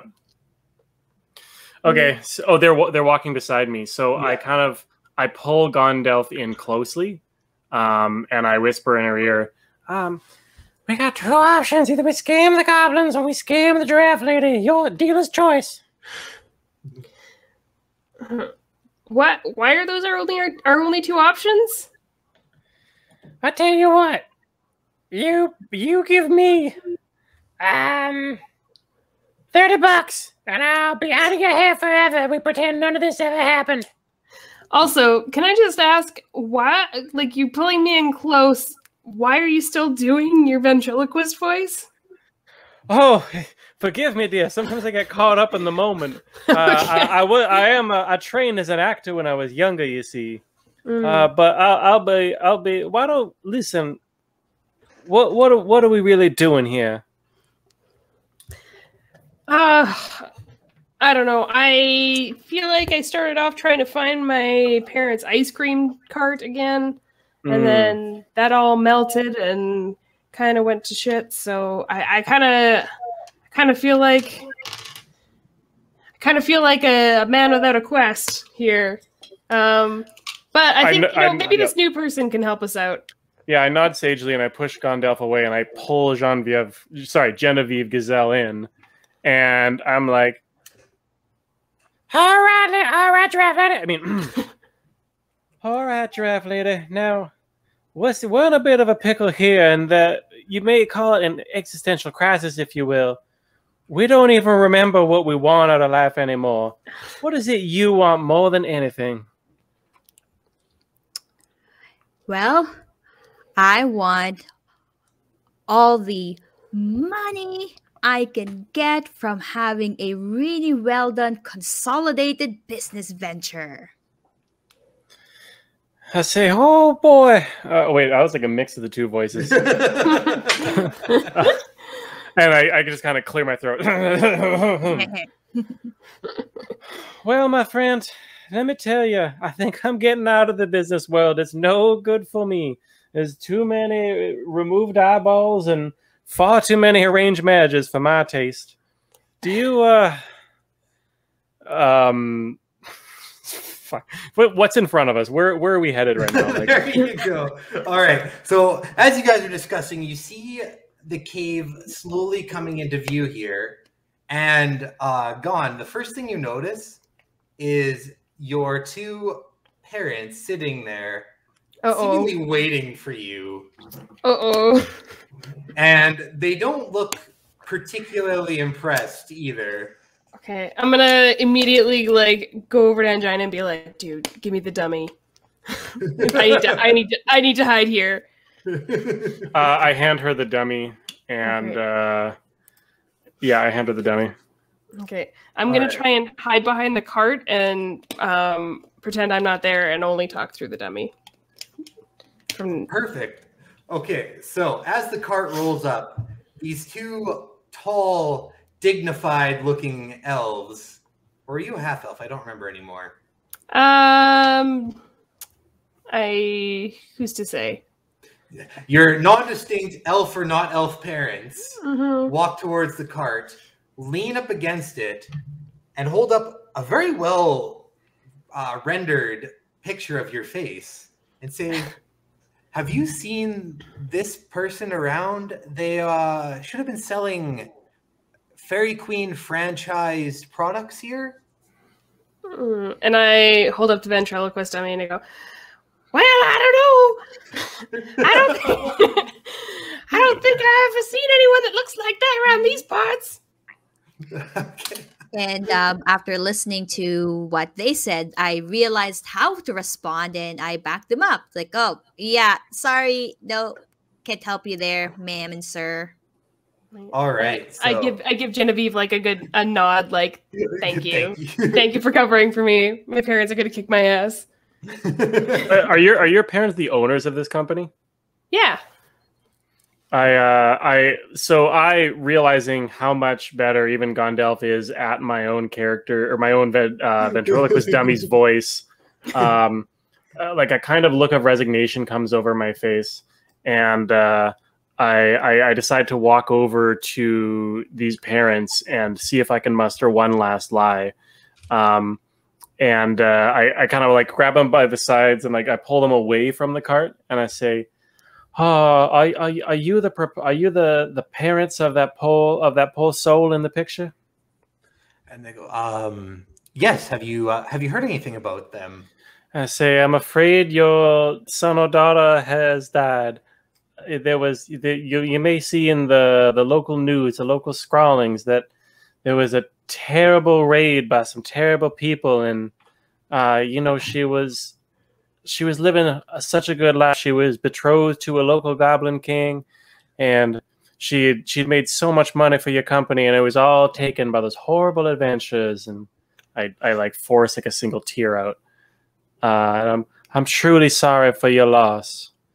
Just know that she died uh, serving your company's bottom line. Comfort indeed to these parents. Yeah. Uh, one takes a step back and go, "Oh my goodness, we were coming here to fire them from the franchise because they haven't been bringing in profits for days now." But this explains so much. They seem so gung ho about selling Fairy Queen ice cream to these adventurers.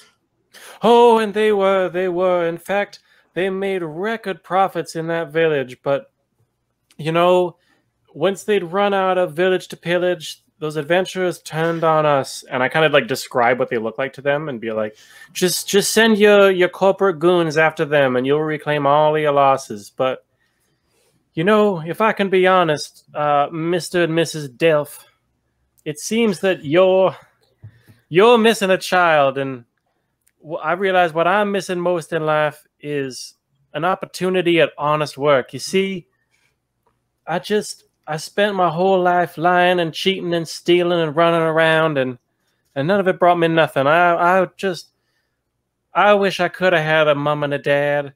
Just just like Gon used to talk about talk about how wonderful they were. It's the one thing I never had in life. And I kind of look at them with big puppy eyes and I'm like, Will y'all take me in as your daughter? All right, so I'm gonna need you to roll a psych roll. I'm even gonna let you uh you roll your strongest stat for this one because you are you are psychologically attacking these people. oh no, you misunderstand. I like what's happening is uh I've I've realized that like I'm not even a good con artist because I've done nothing but like make my situation worse since the beginning of this adventure. And the one thing I had going for me, which is my ventriloquist dummy, um, someone else is better at. So I'm genuinely trying to give up my my life of crime and uh, Turn in your leaf. yeah, Yeah. well, because it turns out what I was longing for all along um, was just some real human connection. And uh, yeah, I'm gonna roll psyche. perfect, perfect. Oh, okay, I got a seven. 7 Mhm. Okay. They seem a little bit taken back by what appears to be genuine sincerity in wanting to change, but it happens so fast that they sort of just take a step back and they're like, well, uh, we can't. They, they struggle for words for a second. We can't promise you any kind of familial relationship, but if you are looking for honest work, um, take our card here and they uh, produce a card out of midair that says Fairy Queen, a uh, Delft division, and give it to you. It has contact info on where to send your nearest carrier pigeon to set up your own franchise. And they say if you want to join the Fairy Queen family, you can contact us at this number and we will we'll assist you the same way that we assist any of our franchise franchise owners in setting up a cart. We uh with the loss of our child's cart here, we might need to set up a new operation here. So, having emotionally bared my soul and gotten like a business opportunity in response, um, the facade starts to crack, and my um, I start to have an emotional meltdown, and uh, like I'm crying, and you know, not I, I just say, "Oh, thank you, kind folks," because that's you know that's the that's the image I want to project for them. But I project my voice to the dummy, which is currently like sitting wherever Gondelf has it, and I say, Oh wow, what a stuck-up bunch of clowns! Can't even, can't even care taking a soul to love who wants them so badly. Wow, I'd be embarrassed if these were my parents. Oh lord. um, but like, uh, yeah, my lips aren't moving the whole time that happens. So All right, so the uh the gentleman, Mr. Delph, takes look at this uh dummy is like, if you have something to say, say it to us directly. And he strives over to the cart. And as he's heading towards there, what's Gon gonna do? Um, so I'm going to continue to try and hide. I'm gonna like maybe like pull like more of a blanket over myself, but like keep the ventriloquist dummy. And I think I'm gonna try and deflect, and I'm gonna say, you know, maybe I'm maybe I'm just projecting my own feelings on this whole situation, and maybe I just don't know enough about the complex emotions of the people involved. And I'm sure that just losing your only child must be a real hard situation for y'all and i uh i just uh i really feel for this young woman and i would i would totally i totally feel like if you wanted to accept them as your child that would be great but also like it's totally understandable if you might be a little upset from losing someone that seems to be very cherished to you um please sir uh pay me no mind and then immediately after that, the dummy says, Ah, I'm just kidding, you bunch of fools. Come at me. Come find me. Well, I've had All right. enough of you and your faces. Let's go. You and me, let's rumble. All right, so I'm going to have you guys roll opposing psych rolls here to see who's the better ventriloquist here. "Oh, buddy, you're gonna you're gonna get lit up on my plus two psyche."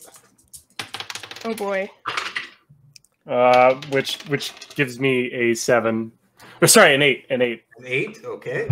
i got a two Oh, Oh, so without even stopping for a second, Mr. Delph grabs the ventriloquist, and you're not quite able to move your arm in time, and you're pulled up and you're facing your father, right? oh god! Oh my worst dream, hopefully worst nightmares are coming true. Um, Yeah, what up, old man? Is that all you got? That's what the ventriloquist dummy says. And but then Angina says, "Oh Lord, everybody stop fighting! I hate the fighting." And then the Endo says, "Ah, Oh, come on, don't listen to her. She don't know nothing. She ain't nothing. You ain't nothing. Fight me, old man. Um, and I go. what is John? What is Genevieve Gazelle doing all this? That's what I want. yeah, that's what I'm actually wondering as well. Is this chaos is happening? Yeah, well, I'm just uh well, and the the uh the, the little goblins that are also pulling the cart. We're just um we're, you know, I'm not sure if popcorn exists in this world, but we are essentially just you know, Alright. rhetorically. It's probably a wise decision. Yeah. Yeah. While at Um, the same time, like, you know, catching glances at them to make sure that, you know, that they are uh not uh you know, not adding fuel to the fire, as they say in the uh, heated conversations. I don't think anyone who's been involved with this en- adventure so far at any point has had a good experience. So it's probably for the best. You're probably the smartest person we've encountered. All right. Yeah. As if to sort of disentangle herself from what appears to be a brawl happening, uh, Mrs. Delph actually makes her way towards you, watching as well, and she asks, uh, very politely for what appears to be the situation at the moment, she asks, "And uh, what do you do?" Oh, to me, right? yes, just that sort of awkward, like as everyone else is screaming, you're just sort of just like, uh, "Yeah, so how's the weather?" that sort of kind of thing. So what, Okay. uh, what do you do? Well, ma'am, um, I am a uh, food cart owner and I sell burritos made named after precious metals. And the specialty of my uh, little cart is called the golden guacamole. Also, ma'am, did you know that I can draw perfect circles? So, like every tortilla that I use for my burritos is a perfect circle. Prove it, lady. Prove it.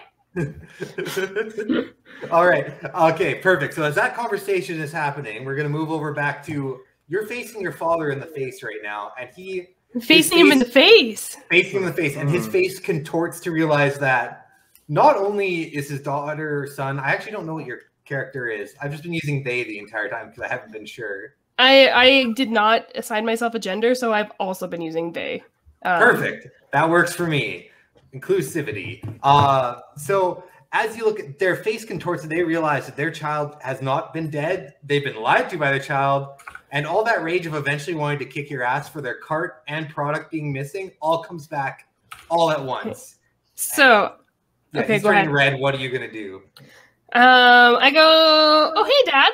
Um, and I think, and I'm like, I go back through all my years of childhood and growing up in this like, you know, business owning family, and I say the only thing that I know is going to diffuse the situation. And I say, hey, mom and dad, I have a business proposition for you. Um, I say, this woman over here that we just met today, her name is Genevieve. She owns a food cart that sells like burritos. She has so much salsa. We sell ice cream.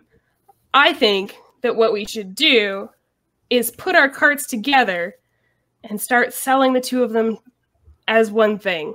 People can get their get their salsa, get something with a little bit of heat, something with a little bit of spice, and then they can get their ice cream, cool themselves off, have a nice refreshing cone. What do you think? I'll run it you just have to you guys if you guys like pay for the initial overhead i'll run it no it's going to be a great business what do you think The vein in your father's temple appears to shrink just a little bit. can i roll psyche You absolutely can. okay come on dad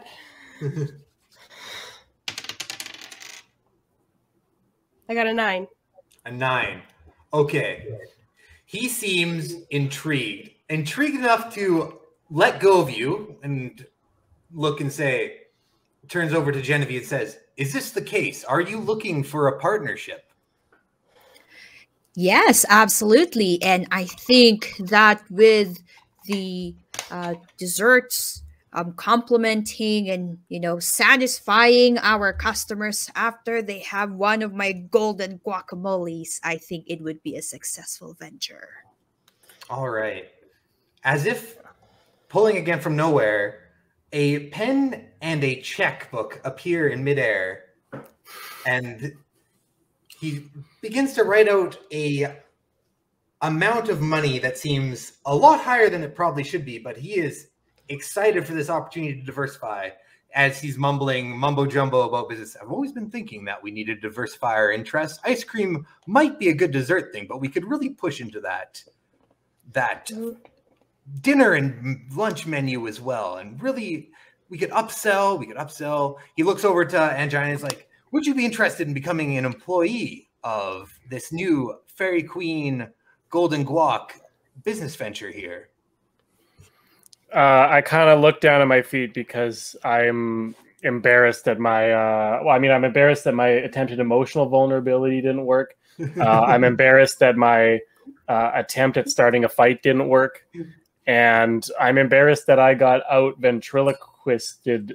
Uh, well, except for the last part. So, um, I, I'm I'm feeling very emotionally torn, and I say you know what, y'all? I think I just need some time to myself in the woods to figure myself out.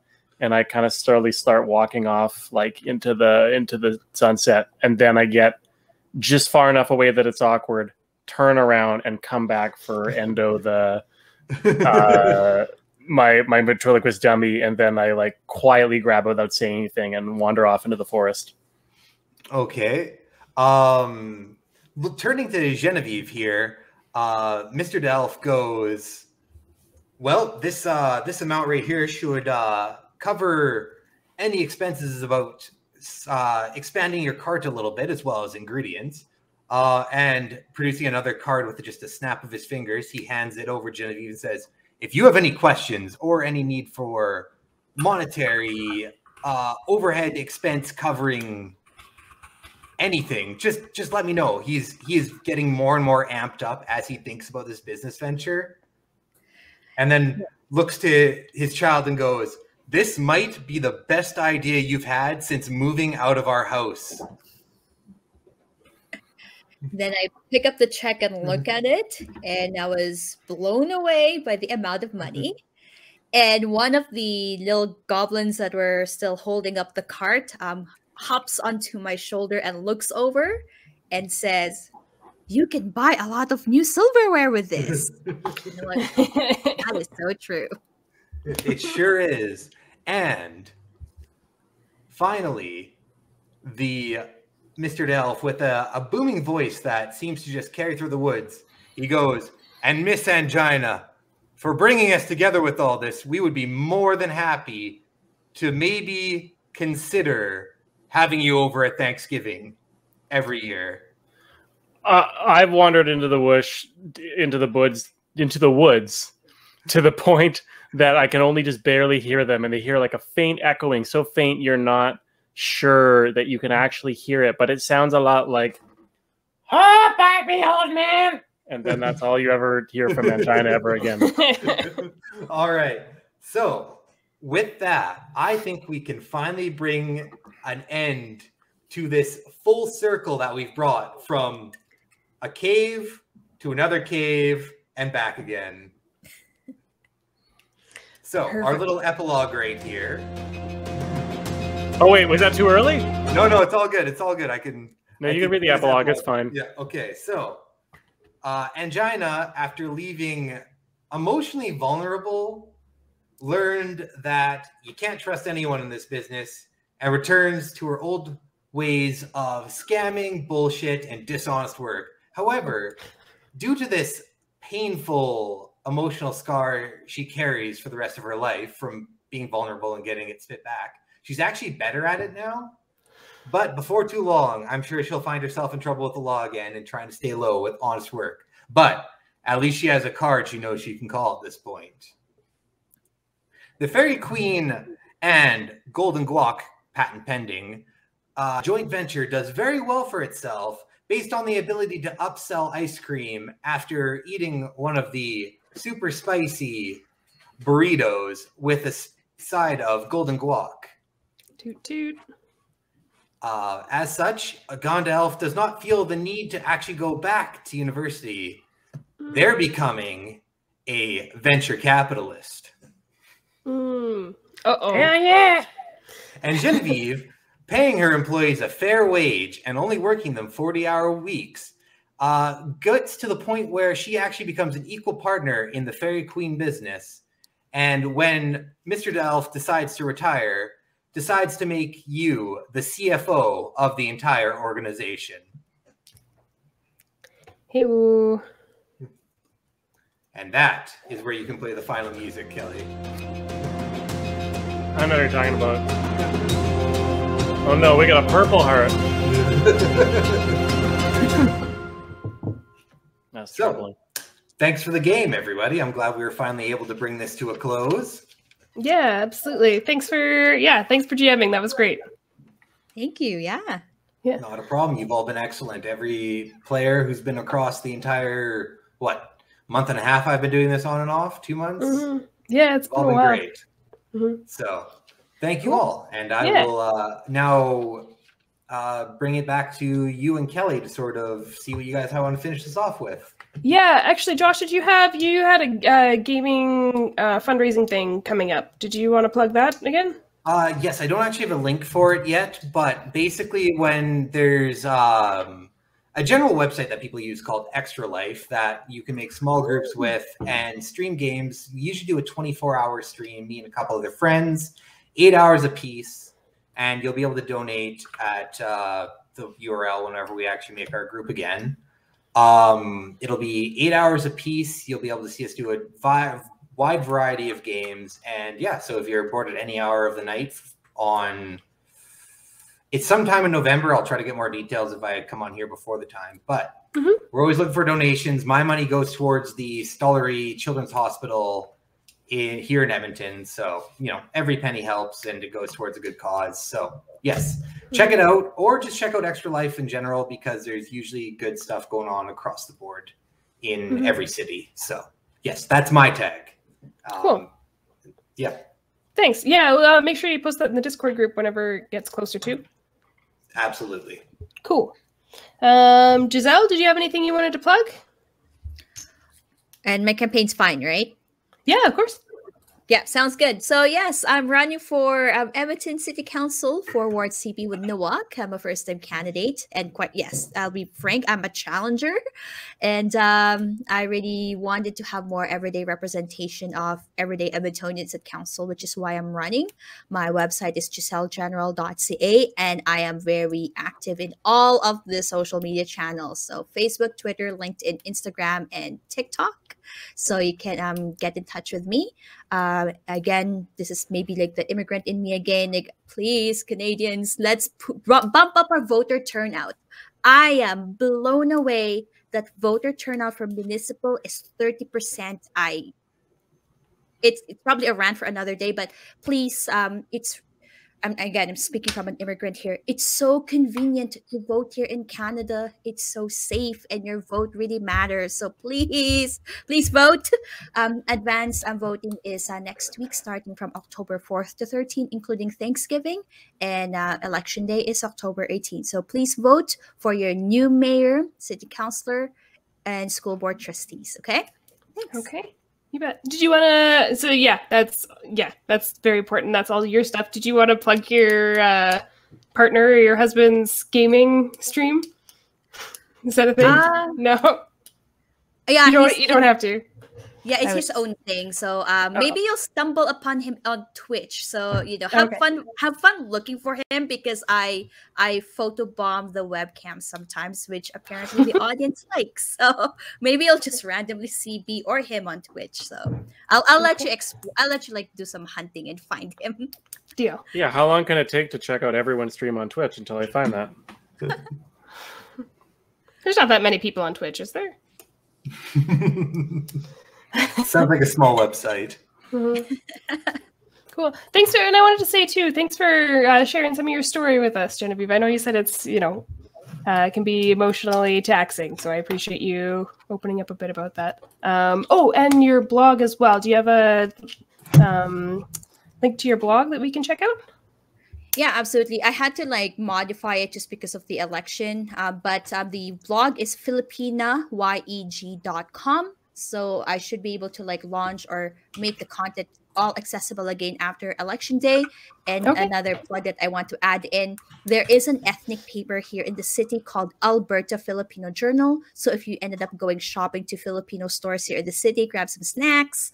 Um, there's a free version of the paper, and you can also read it online. Most of the content is in English, so um, you know, and a couple columns in Tagalog. But um, yeah, it's a, it's a great way to learn about what's happening in the country and in the city with a bit of a Filipino lens, and because it's for a Filipino audience, you might find it uh, valuable to uh, to expand your um, your references for um, learning about the community.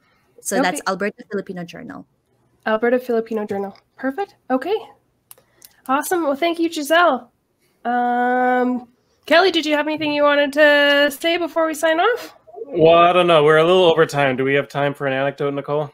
Oh boy, can you give us the brief producer? version? Yeah. So the brief version is uh, it's just funny because, as you know, I did graduate from clown college, and uh, a whole big chunk of my graduating class died in a horrific plane crash, and I. You know, we, we all wanted to, you know, have a big funeral, but we kind of couldn't because of COVID. And so, yeah, it was uh, it was a real challenge trying to figure out how we could do kind of like a Zoom based remo- memorial so that the survivors could uh, mourn other dunces.